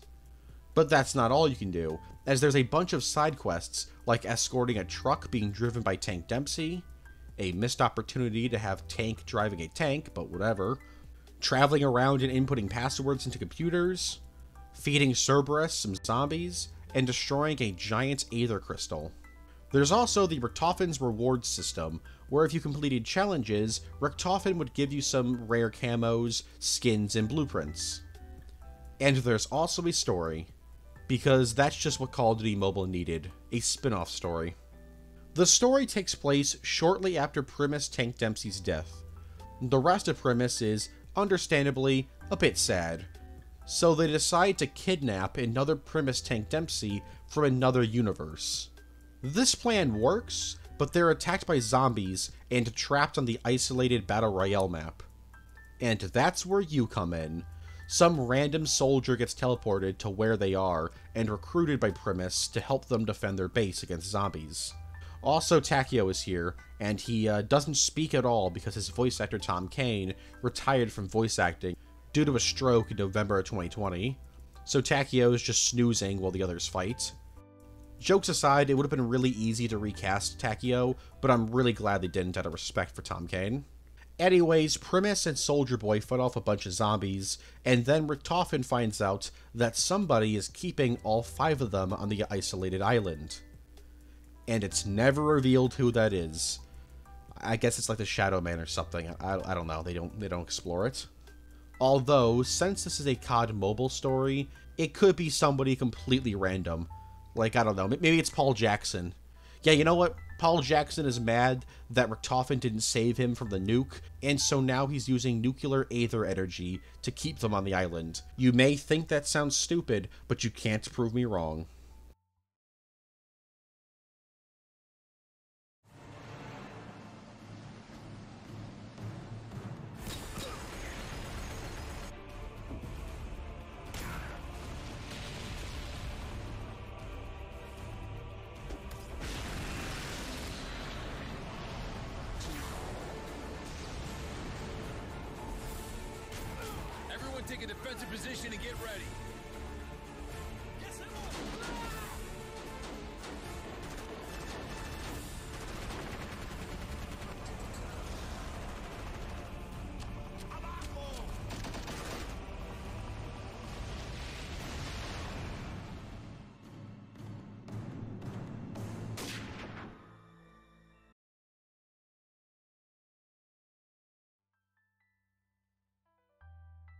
Davy Jones Locker. In Black Ops Cold War's Outbreak mode, if you play on the map Armada and decide to swim to the bottom of the ocean, you'll eventually be met with a bunch of dark ether fire, and just before you die, the location name will change to Davy Jones's Locker. Weird melee weapons. In Black Ops 2, the idea of running around with just a knife in multiplayer was introduced into the series. For the next few games, they just kept the melee weapons to the combat knife, riot shield, and exofist. This all changed, however, in Black Ops 3, when they began to add in a ton of melee weapons into the game. Some made sense, like the carver, the butterfly knife, or even the wrench, but some of them were a bit weird. For example, the buzz cut, a zombie apocalypse looking weapon, the Nightbreaker, which looks like a weird predator gauntlet, nunchucks, prize fighters, which are just boxing gloves, L3FT.E, which is literally just a mannequin arm, and the Bushwhacker, which is a brass knuckle chainsaw. Weird, but pretty awesome. In Infinite Warfare, there was only really the nunchucks that were weird. Then, in Modern Warfare Remastered, there was the Tribal Staff, Danger Close, which is literally just an RPG 7 rocket that you carry around and beat people with, the Barber, which is just a shaving knife, and the Brawler's Brew, which is just a broken bottle. And then in Black Ops 4, there was a lot of them. Sleigh Bell, which is a Christmas bell covered in barbed wire. Backhander, which was a severed zombie arm.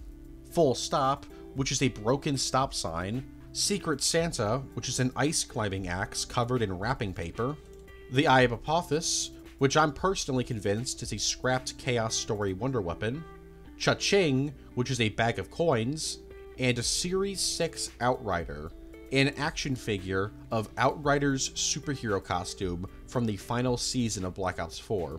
Oh, and I guess if you bought the Attack on Titan bundle in Vanguard, you can use the katana blueprint that makes it look like the swords from Attack on Titan. But instead of like dual wield swords, it's just one. So it's like, what's the point? Dome versus Strike Zone versus Genesis. So Dome from Modern Warfare 3 is a fan favorite map and has returned in Ghosts, Vanguard, Warzone 2, and Modern Warfare 2. Twice. However, some would argue it was also in Ghosts. Twice. And Infinite Warfare. Twice. This is because the Ghosts map, Strike Zone, and the Infinite Warfare map, Genesis, have extremely similar layouts to Dome. Now, they all play differently, but I mean, if you look at the layouts of the maps compared, they're all pretty similar. Personally, I think they're all different enough, but some people are convinced that Strike Zone, Genesis, and by extension, Genesis Holiday, are kinda remakes of Dome from Modern Warfare 3. By the way, just found this out, Genesis Holiday isn't playable in private matches or local play, so it's lost the time. Nobody can ever play it again. Same with Shipmas from Modern Warfare 2. Oh, I hate it. How I... How I absolutely hate it. The Lost Mobile Characters Call of Duty Mobile features a ton of characters from throughout the Call of Duty series. From the original Modern Warfare games, the older Black Ops games, the newer Black Ops games, Ghosts, Zombies, Advanced Warfare, World War II, World at War, Vanguard, the Modern Warfare reboot series, and even Call of Duty Online. However, despite all of this, there's actually a lot of characters missing from the game that have been found to the game's files. Some of them were only there during the game's alpha and betas, but others were found well after the game was released. So here's a list of most of the characters that have been found in Mobile's files that haven't been released yet. Russman from Black Ops 2 and 4, Weaver from Black Ops 1 and Cold War, Sarah Hall from Black Ops 3, Bruce Harris from Black Ops 1, a Yemen soldier from the Black Ops 2 level Achilles' Veil, Mike Harper from Black Ops 2, Hudson from Black Ops 1, 2, 4, Declassified, and Cold War, an FBI LMG soldier from Black Ops 2, an FBI sniper from Black Ops 2, Sabre, the GIGN commander from the Modern Warfare 3 level, Bag and Drag, as is a Black Ops agent from the Black Ops 1 level Redemption, and Mestis from the Black Ops 1 level Numbers, who was also voiced by Sam Worthington. I had, I had no idea until now. Anaconda. In the Black Ops Cold War version of Jungle, you can find an anaconda chilling out on a tree just doing anaconda things. You can then kill it. Uh, please don't please don't do that though. Anacondas are cool. Secret weapon name changes. In a few Call of Duty games, you can change the name of the weapon you're using without creating a blueprint of it. All you gotta do is just add some attachments. In Modern Warfare 2019, if you put the FSS mini attachment on the MP5, it'll change the name of the weapon to the MP5K, which makes sense, you're literally turning the MP5 into the MP5K.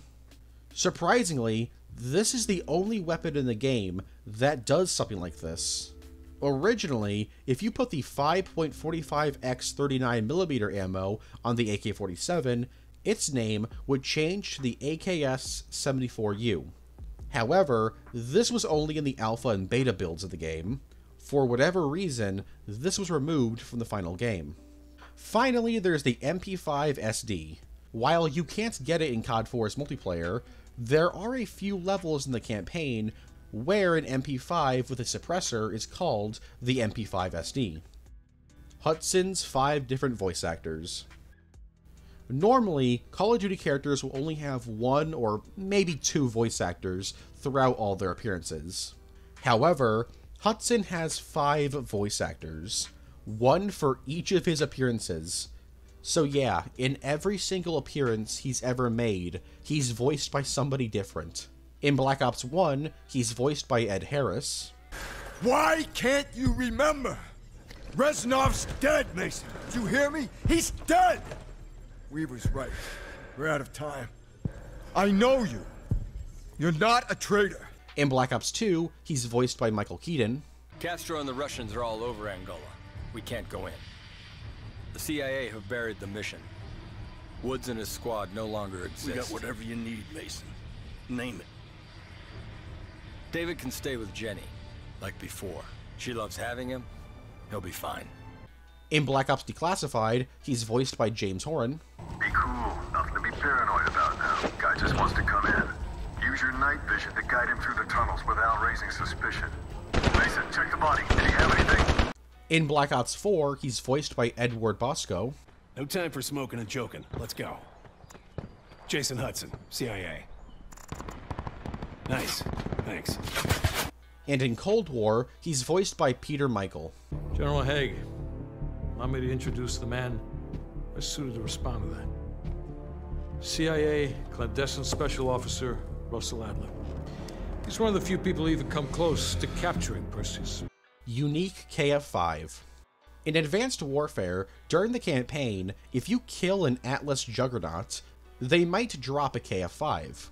This KF5, at first glance, doesn't seem all that interesting. I mean, it looks a little different than the other KF5s, but, I mean, it's not that crazy. Except it kind of is crazy, because this KF5, which is only dropped by Atlas Juggernauts, not KVA Juggernauts, takes the appearance of the single stack supply drop variants of the KF5 found in the game's multiplayer. Except not really, because this weapon has stripes painted on it in various locations and lacks the range indicator on the side of the weapon, the single stack variant has. This unique variant of the weapon is found nowhere else in the game. You can't get it from other enemies, buy it in Exo Survival, buy it in Exo Zombies, or unlock it in multiplayer. Nothing. It's just a weird little oddity in the campaign. Alejandro X Valeria. So there's quite a few people out there who ship Alejandro and Valeria from the Modern Warfare 2 campaign, and it's kind of obvious why they do. They're rivals, and people love shipping rivals. But there are some people who believe that this ship was actually canon at one point. Some players have theorized that the reason why these two hate each other so much is because while they were working in the Mexican Special Forces, the two fell in love, and so, when Valeria betrayed Alejandro and sided with the cartel, he was heartbroken. It's a neat idea, I guess, but I think it's safe to say that Alejandro just hates her because she betrayed his team. There's not really anything indicating in the campaign that they were banging at one point. Mara in Modern Warfare 2.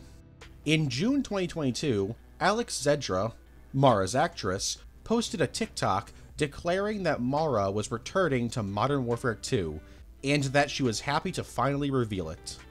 She probably shouldn't have made this video though, because she potentially broke an NDA. You see, in the TikTok, Alex Zedra mentions getting the go-ahead to reveal that she's returning in the game. She got this go-ahead via a tweet. She says the tweet told her that, quote, you're on the team, stay frosty. That's not, um... That's not what happened, though. Um... She... She saw a tweet like this one. It was an automated tweet. Now, the thing is, she was very likely part of the production of Modern Warfare 2 in some way, because in the video, she says that she's been given the go-ahead to reveal it. However, as of May 2023, Mara isn't in the game. Some people have claimed that they removed Mara from the game because she potentially broke NDA, but I don't think that's how that works. I'm pretty sure that Mara will come to Modern Warfare 2 eventually, but it is weird that she hasn't returned yet. And I hope for Alex Zedra's sake that she didn't break an NDA. Scrapped vehicles. We don't really know a ton of scrapped vehicles from Call of Duty games, especially after Black Ops 2.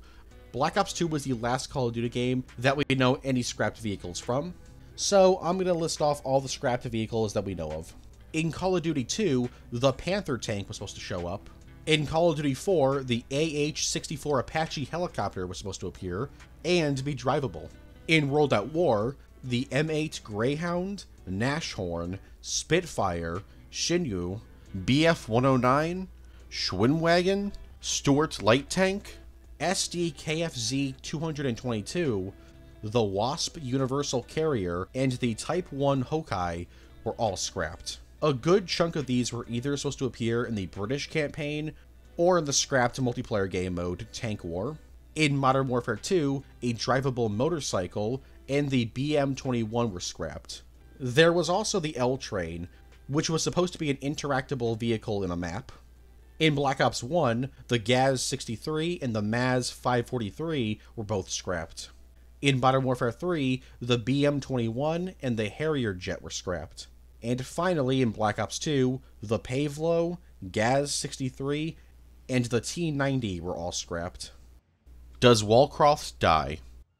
So Wallcroft is a minor character in the original Modern Warfare series, being a background character in COD 4, and being a prominent character in the Modern Warfare 3 level Mind the Gap.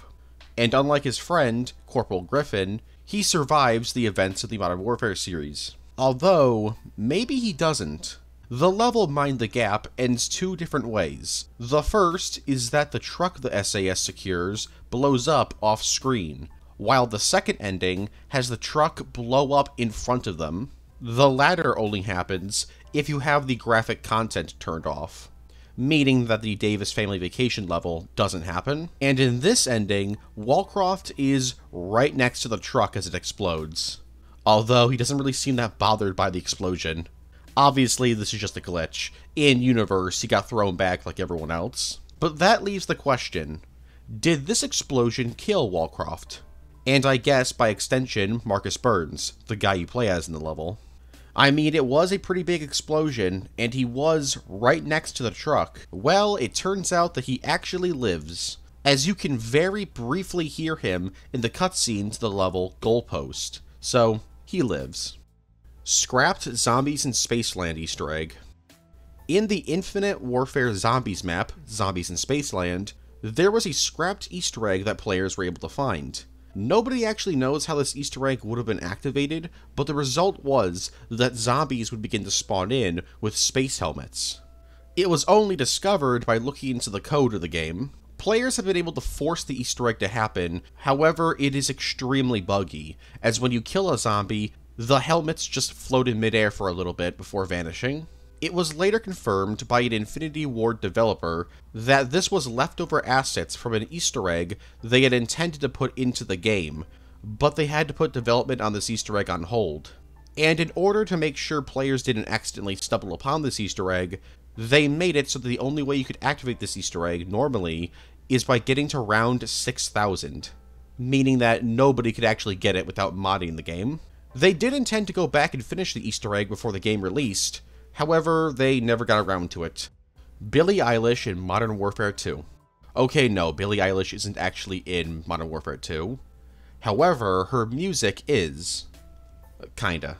In the Modern Warfare 2 level Tradecraft, you can find a small band playing a cover of the Billie Eilish song, Bad Guy.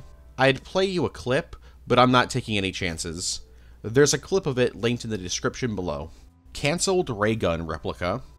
Originally, the plan was that if you pre ordered the Black Ops 3 Collector's Edition, you were going to get a replica of the raygun. However, Treyarch, or whoever was making the replica ray guns, couldn't get them done in time, so they replaced it with the Juggernog mini fridge. This was revealed in an interview with Chris Cowell in March 2023 as part of an article about the history of the ray gun. But hey, we're finally getting an official ray gun replica now, so that's pretty cool. If it was affordable. Original Modern Warfare 2019 announcers. In Modern Warfare 2019, there were originally unique announcers for each unit of the Coalition and the Allegiance. For example, if you played on the map Hackney Yard, you would hear the SAS announcer and the Chimera announcer.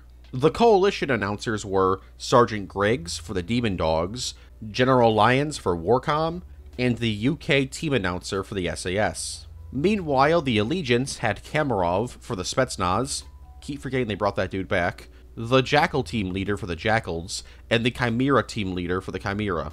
There were no unique announcers for Shadow Company, due to them not actually being canonically present in any of these fights. At some point, Infinity Ward removed both Griggs and Lyons, leaving the SAS announcer as the announcer for the entire coalition. And they didn't remove any of the Allegiance announcers, it was just those two. The only reasons given as to why these two were removed from the game was because they apparently didn't match the tonal nature of the lines of dialogue. I don't get it either. Advanced Warfare 2.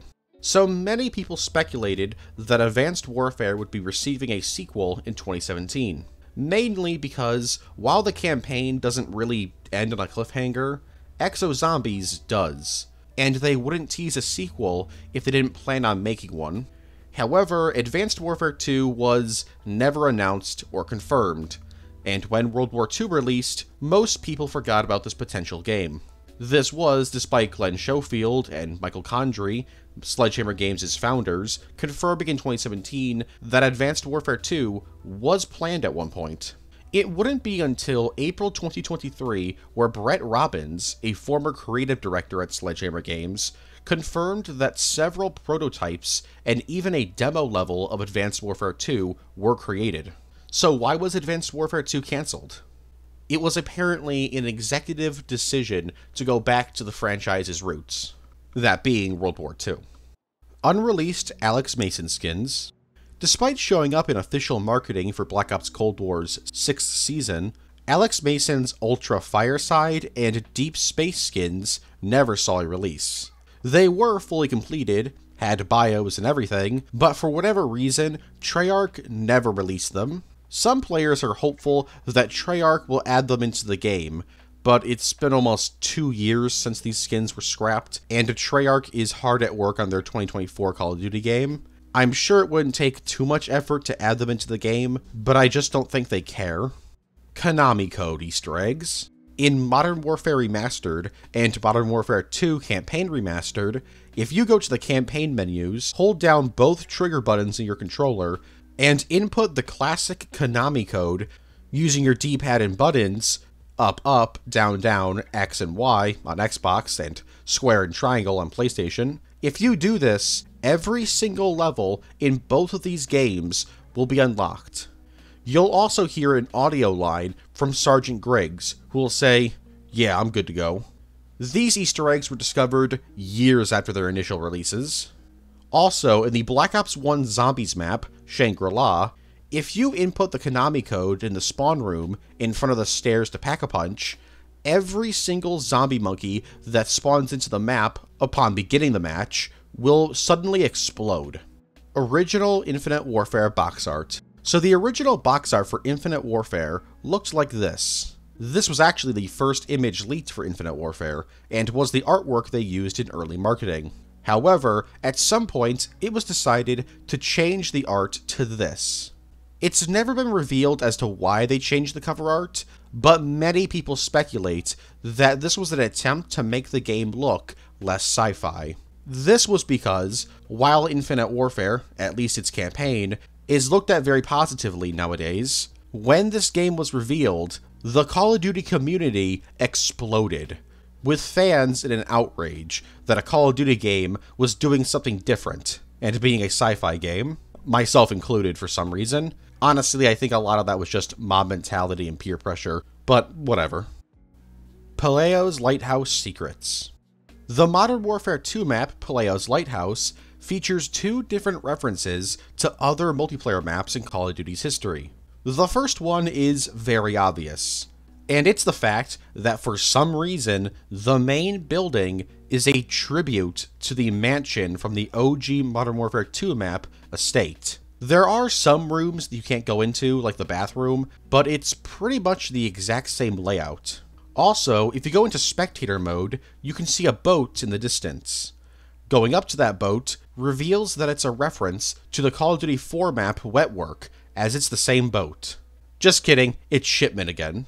I should also mention here that the name of the map is a direct reference to the pilot Pelayo from Call of Duty 4. They also used her name of an ice cream shop in the Modern Warfare 2 map Favela. How about bring back Favela instead of Shipment for the 10th time? Cade Janus. In February 2021, photographer Clayton Haugen sued Activision over copyright infringement. So, what did Activision steal this time? The character, Cade Janus. Now, you're probably wondering, who's that? She's an original character created by Clayton Haugen. He claimed that he had created the character as part of a story treatment to draw in interest from film production companies. So, what evidence did he have that Activision stole her? Well, Cade Janus is portrayed by Alex Zedra, who plays Mara in Modern Warfare 2018 and Call of Duty Mobile. He claims that the costumes or skins that she wears in the game are directly based on photographs of Cade Janus. Also, according to Haugen, Activision hired the same makeup artist for Mara that he hired for Cade. Now, this lawsuit didn't end well for Haugen. Activision denied all accusations, and the courts say that even if they did use these photos, it's protected under the First Amendment.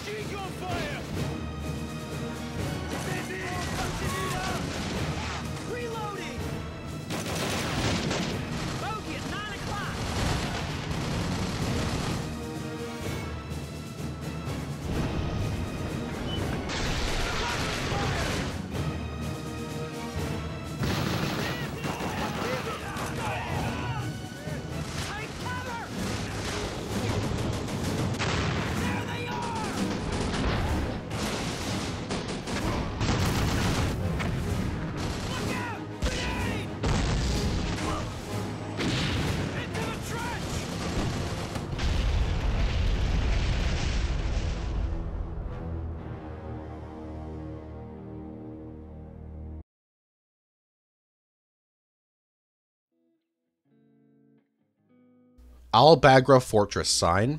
On the Modern Warfare 2 map Al Bagra Fortress, you could find a sign with a bunch of tiny writing on it. If you zoom in, you'll see that this writing isn't just gibberish or anything like that, but instead a fourth wall breaking message from one of the game's texture artists. It reads, Here's some additional tiny information for the exhibition signage. Because there is simply not enough time to write paragraphs of unique facts in the way a real museum exhibits might, it is my hope that this text will eventually become illegible, unlike the previous signs in Modern Warfare, which many diligent people online took the time to translate and transcribe, much to my horror. In any case, I continue to appreciate all of the people who take a moment out of their day to read incidental signage such as this.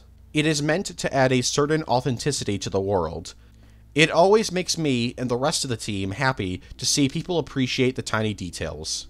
So keep looking. You never know what you'll find. M240 in Modern Warfare 3. Despite showing up in a variety of different marketing material for Modern Warfare 3, the M240 light machine gun isn't usable in the game. It does, however, appear in the game, in both the brief flashback to No Russian in the level Blood Brothers and in the hands of some juggernauts in the Spec Ops mission Special Delivery. But yeah, it's not usable. It was going to be, but it was scrapped fairly late into development. So late, in fact, that it's still usable in the game. Okay, let me explain. In the PC, Xbox 360, and PS3 versions of Modern Warfare 3, the M240 isn't usable without modding or console commands or anything like that. However, in the Wii version of Modern Warfare 3, the M240 is usable, but not in multiplayer. It's found exclusively on the ground in the level goalpost. Big Crab. If you go under the ocean outside of the map in the Black Ops 4 map Contraband, you can find a giant blue crab. It's the same model as the other crabs that you can find walking around on the map, but it is significantly larger. Sadly, it doesn't move around, it just sits there. Tony Hawk's Underground 2. In Tony Hawk's Underground 2, you can unlock a secret character called COD Soldier. You can unlock this dude after completing the game's story mode on the Sick difficulty. This guy is an American World War II soldier, and is an obvious reference to the Call of Duty series, as at the time, Call of Duty was exclusively a World War II series. Sadly, he's not based on any of the characters from the original Call of Duty. Instead, he's just a generic soldier. Ravenov Operator. In early 2022, Ravenov from Cold War's Zombies mode began appearing as a skin for bots in private matches and local play. This, combined with data mined audio, proved that, like Weaver and Samantha Maxis, Ravenov was jumping from zombies to multiplayer as an operator during Cold War's scattered 2022 content drops. But in April 2022, after a patch was released, Ravenov stopped appearing as a skin for bots, and all mentions of him in the multiplayer were removed from the game's files in another patch in June 2022. So the Ravenov operator and bundle was scrapped. But why? I mean, they released Lazar as an operator in 2022, and that dude's canonically dead. Yeah, for those that don't know, it's been confirmed that Helen Park surviving is the canon ending of the game. Anyways, it's never been officially confirmed as to why the Ravenov bundle was scrapped, but it's been speculated that the Russian Ukrainian war is the blame, because Ravenov is Russian, and I hate to say it, but that's probably the reason as a lot of game companies decided to remove a lot of Russian stuff from their games in response to the war. But keep in mind, this is just speculation. Jose Menendez in Cold War.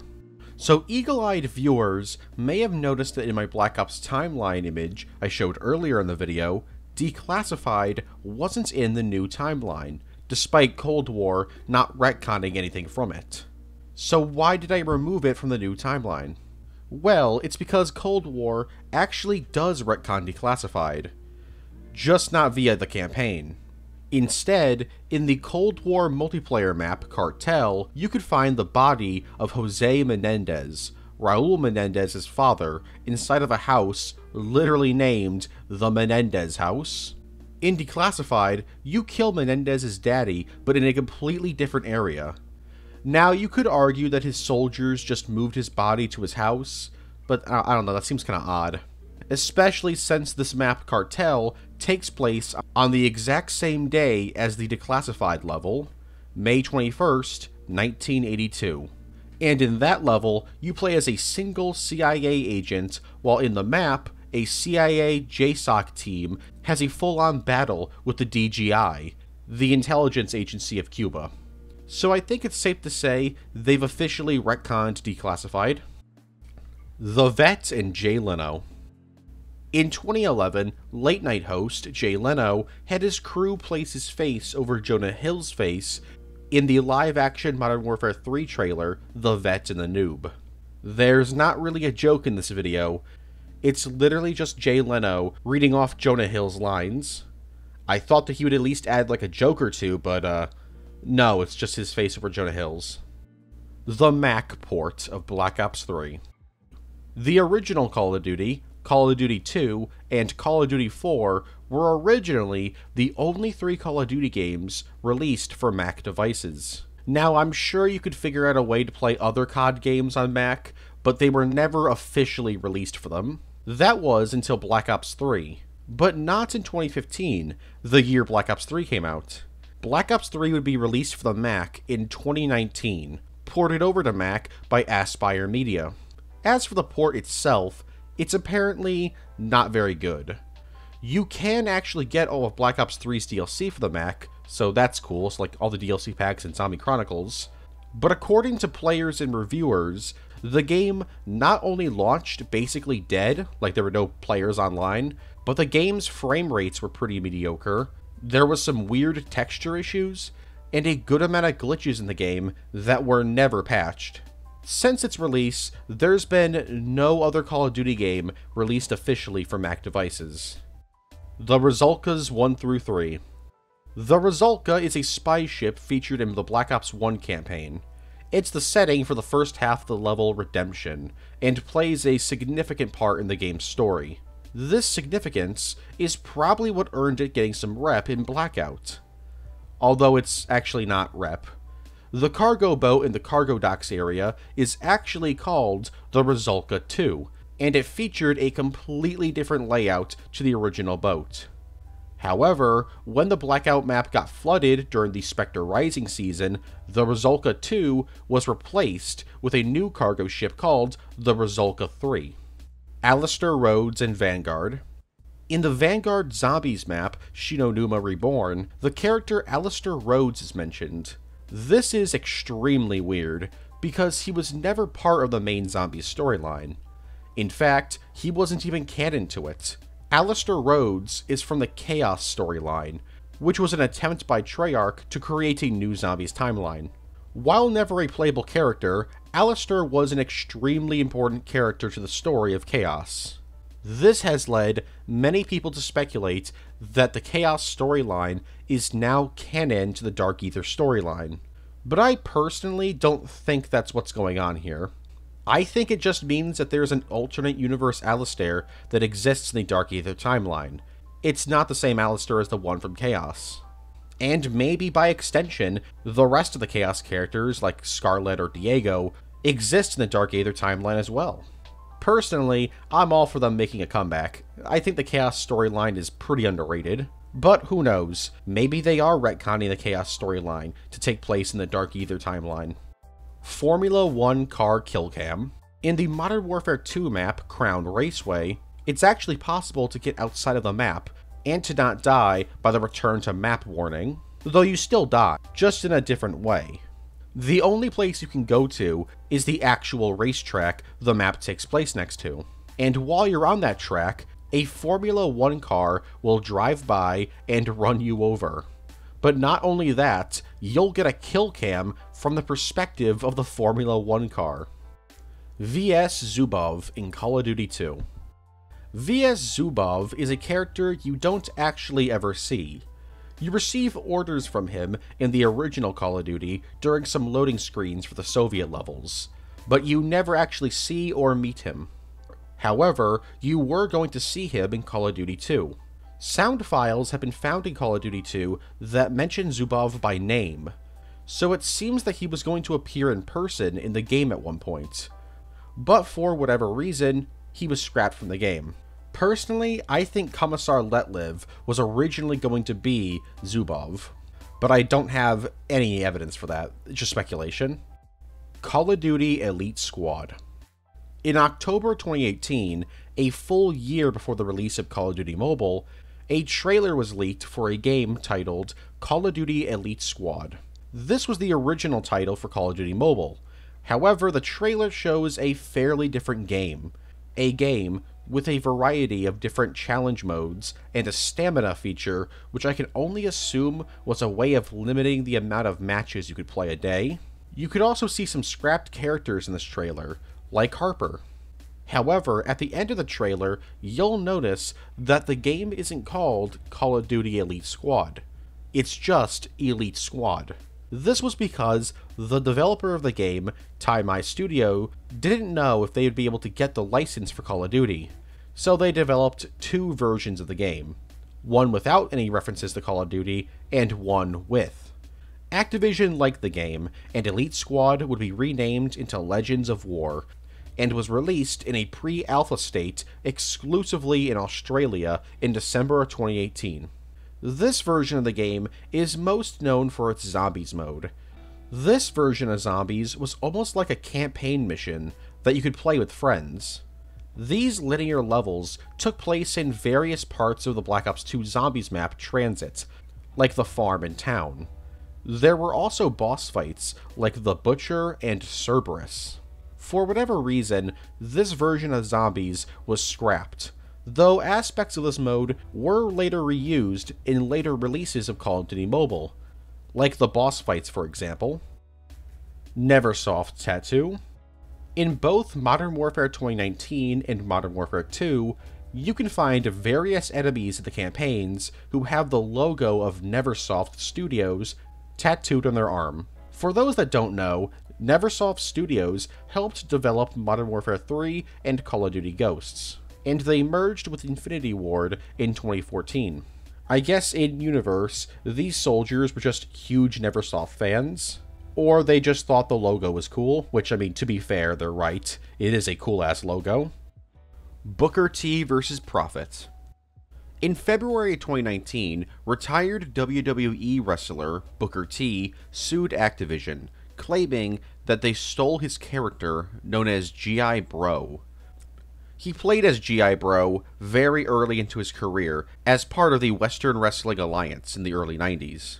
He claimed that the character Prophet from Black Ops 4, only in Black Ops 4, he was fine in Black Ops 3, was based on G.I. Bro's design.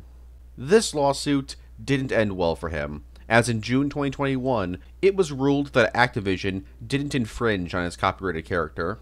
Activision claimed that Booker T didn't own the idea of an angry man with a scowling look, and that he presented some pretty mediocre evidence, including this poster. A poster that was modeled off of Dwayne The Rock Johnson from the neck down. So yeah, it doesn't look like they stole G.I. Bro. Vanguard's original multiplayer story. Alright, so this entry is pretty much just entirely speculation, but I think there's some evidence for this.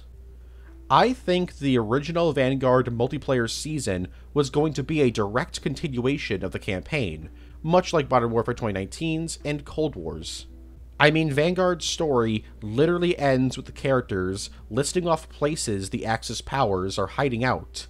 Places that I, along with other people, thought were teasing future multiplayer maps, like Argentina, Antarctica, the Bahamas, etc. This didn't end up happening, as Vanguard's multiplayer story was almost non existent. Almost. In the first two seasons, we were introduced to Nebula 5, a new chemical weapon that, outside of the abandoned arms race mode, was never really explored. But the fact that there was an entire game mode about Nebula 5 and the cutscenes for the first two seasons of Vanguard's multiplayer story featured various characters discovering Nebula 5 just kind of shows that at one point this was meant to be a larger storyline. But whatever that storyline was going to lead to was abandoned, as Season 3 was non canon, and Season 4 featured a time jump to the 1970s, where Butcher and Arthur Kingsley were now mercenaries looking for gold. Then Season 5 was again non canon, and then Season 6 was cancelled. I think Vanguard's multiplayer season was going to be split up into two halves. The first three were going to be about Task Force Vanguard taking out Nebula 5 bases, and the second half was going to jump to the 1970s, and Task Force Vanguard were now going to be mercenaries, taking out German remnants hiding out in the Pacific or Europe, and tracking down gold. Perhaps even the legendary Lost Gold train. I think that that trade may have been involved because Season 4 had a huge emphasis placed on gold. Of course, this is all speculation, but it's my theory. Uh, what do you guys think?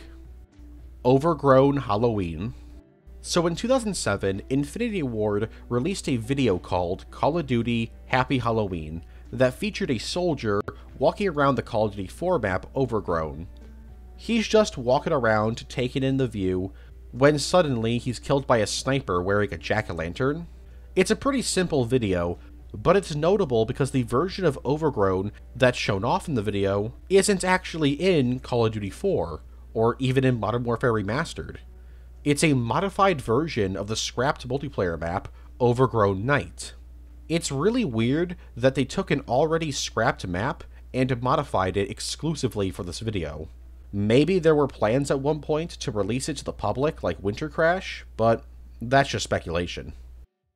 Talking Hot Dog In the Call of Duty Ghosts map, Strike Zone, if you throw a throwing knife into Ronnie the Hot Dog's uh, wrinkles, it'll actually make Ronnie talk.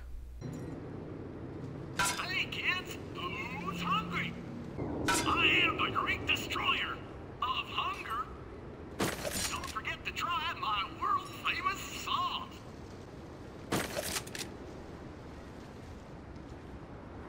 One, two, three, you're out. Play ball. Call of Duty Siege.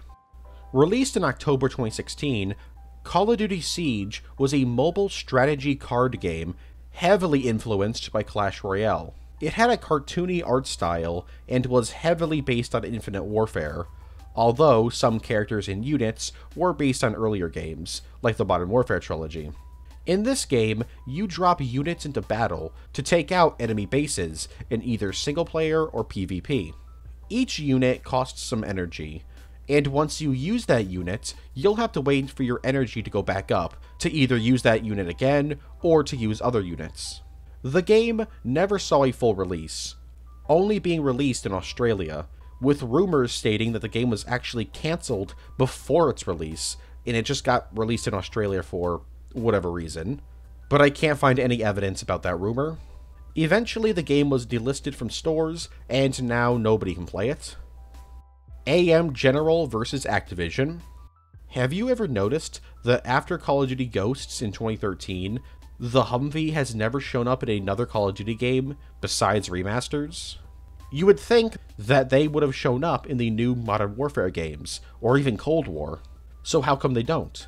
Well, it's most likely because in 2017, AM General, the manufacturing company for the Humvee, sued Activision for using Humvees in their games without the company's permission or a license. This case lasted until 2020 when the courts sided with Activision. They said that Activision can use Humvees without a license simply because of the First Amendment, as Activision was using Humvees in a creative way to portray war. Regardless of them winning the lawsuit, seems that Activision don't really want to risk them suing them again, so Humvees just don't show up in Call of Duty games anymore. NZP. In December 2010, the world was introduced to the game NZP. This is a fan-made game that was originally designed for the PSP, although you can actually play it on Android devices, Mac, PC, and even the Nintendo Switch. The idea was to bring the World at War and Black Ops 1 era of zombies to the handheld PlayStation console, the PSP. Created in the Quake engine, there are officially made maps for the project, however there's plenty of user-created maps you can download.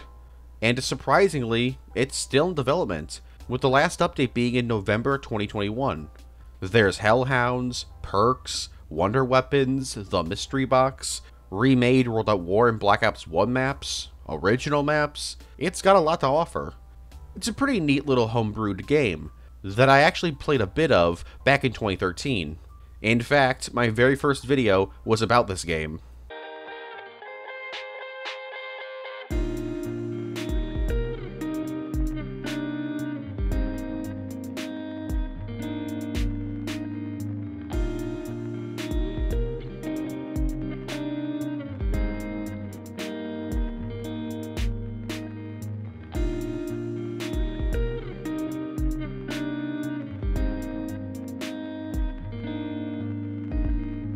Great description. That's just that's just stellar writing. Modern Warfare 2 Campaign Remastered Zombies Easter egg. In the Modern Warfare 2 Campaign Remastered level, the Gulag, if you throw a grenade into this little hole in the cell door to cell 227, and then run back to the guard post and look at this TV, a zombie will be shown on the screen, and a zombie's screeching sound can be heard. This zombie is running around in a prison cell, and he has glowing yellow eyes. And uh, that's it. After this extremely brief video, the TV turns off, and if you want to do the Easter egg again, you gotta replay the level. Now what's interesting about this Easter egg is that it was discovered in 2023, while the game came out in 2020. So it took three years for anyone to figure out this small little zombie's Easter egg. I know to be similar to Mob of the Dead and Blood of the Dead, but doesn't a gulag sound like a really cool idea for a zombies map? Ghost voice actor controversy. So Ghost has had three different voice actors. Not as much as Hudson, but his voice actors changing between games is a bit controversial. Originally, in Modern Warfare 2019's Warzone season, Jeff Leach was the voice actor for Ghost, and was presumably going to return in Modern Warfare 2. However, in May 2021, sexist comments made by Jeff Leach in 2020 and once in 2017 resurfaced online. And some of these clips weren't just him saying like sexist stuff, but also saying sexist stuff directly to women, and at one point even declared that the streamer ZombiUnicorn just relied on her breasts for views. Yeah, he said some pretty vile things. And in response, on May 8, 2021, Activision cut all ties with Jeff Leach. Leach responded to this controversy by saying that the clips were taken out of context and that he was responding to a troll. Eating.bik Hidden away in the game files for the GameCube ports of Call of Duty Finest Hour, there's a secret video titled Eating.bik. This is a really weird video, it's a video of Spark Unlimited developers having an eating contest on May 20th, 2004. Oh, hey, I'm, re I'm recording this audio on May 20th. What are the odds? Anyways, some of the things they had to eat were 4 pounds of beans, 1 quart of turkey gravy, 4 chili dogs with everything on it, and a large order of chili cheese fries. There was also the mint challenge, where people had to put 2 breath strips, one hot ginger candy, one chocolate mint, three sour chewy beans, one vitamin C chewable, one cough drop, and one intense mint in their mouth at once. It's unknown if this was meant to be an unlockable video in the game, or it was just some funny video thrown into the code. Regardless of any of that, I demand that the Call of Duty Gravy Guzzle Bucket be a weapon charm in a Call of Duty game, Alright, and that's it. That's the uh, Call of Duty Iceberg Part 2. Uh, I do not think there will be a Part 3. Um, sorry if you wanted one. But yeah, that's uh, that's that. I hope you all enjoyed. Uh, it was a fun time going back to the Call of Duty series. Although I've never left it, I still play it regularly. So, um, yeah, next time we're going to do a Part 3 to a video, to an Iceberg, I should say. Hope you're excited for that one. It's been a long time coming. And uh, yeah, I don't really have much else to say. Um, I'll make more Call of Duty content in the future, just not icebergs. I don't think. Like, uh, comment, uh, subscribe if you enjoyed the video. I don't. I don't normally ask this. Um, I should probably ask this more in videos, just to subscribe, because I feel like that's. I feel like it's a necessary evil. Like you, like you kind of have to. Um, I don't. I, I I always just feel bad doing it. I feel almost like dirty. Like it's like a, it's like a a bad thing to do. I don't know. Uh, but yeah, I, I don't know. I might. I, will I'll probably start doing that a little bit more. I don't know. But yeah, that's the video. Uh, have a good one. And uh, if you're watching this on the day it was uploaded, uh, May 23rd, uh, it's my birthday, so that's pretty cool. If you're not watching it on May 23rd, then it's not my birthday. That's pretty cool too, I guess. I don't know. have a good one. Uh, stay safe and all that. I'll see you guys in the next video.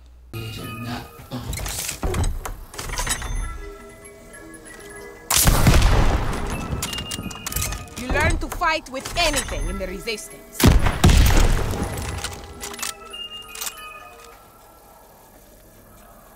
Options are nice, but I take what I can get. In my hands, any weapon is that much better.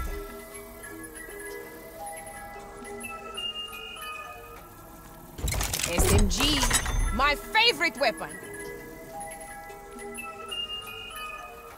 I'm not afraid of direct confrontation.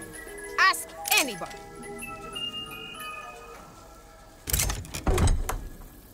Whatever is offered, master that weapon.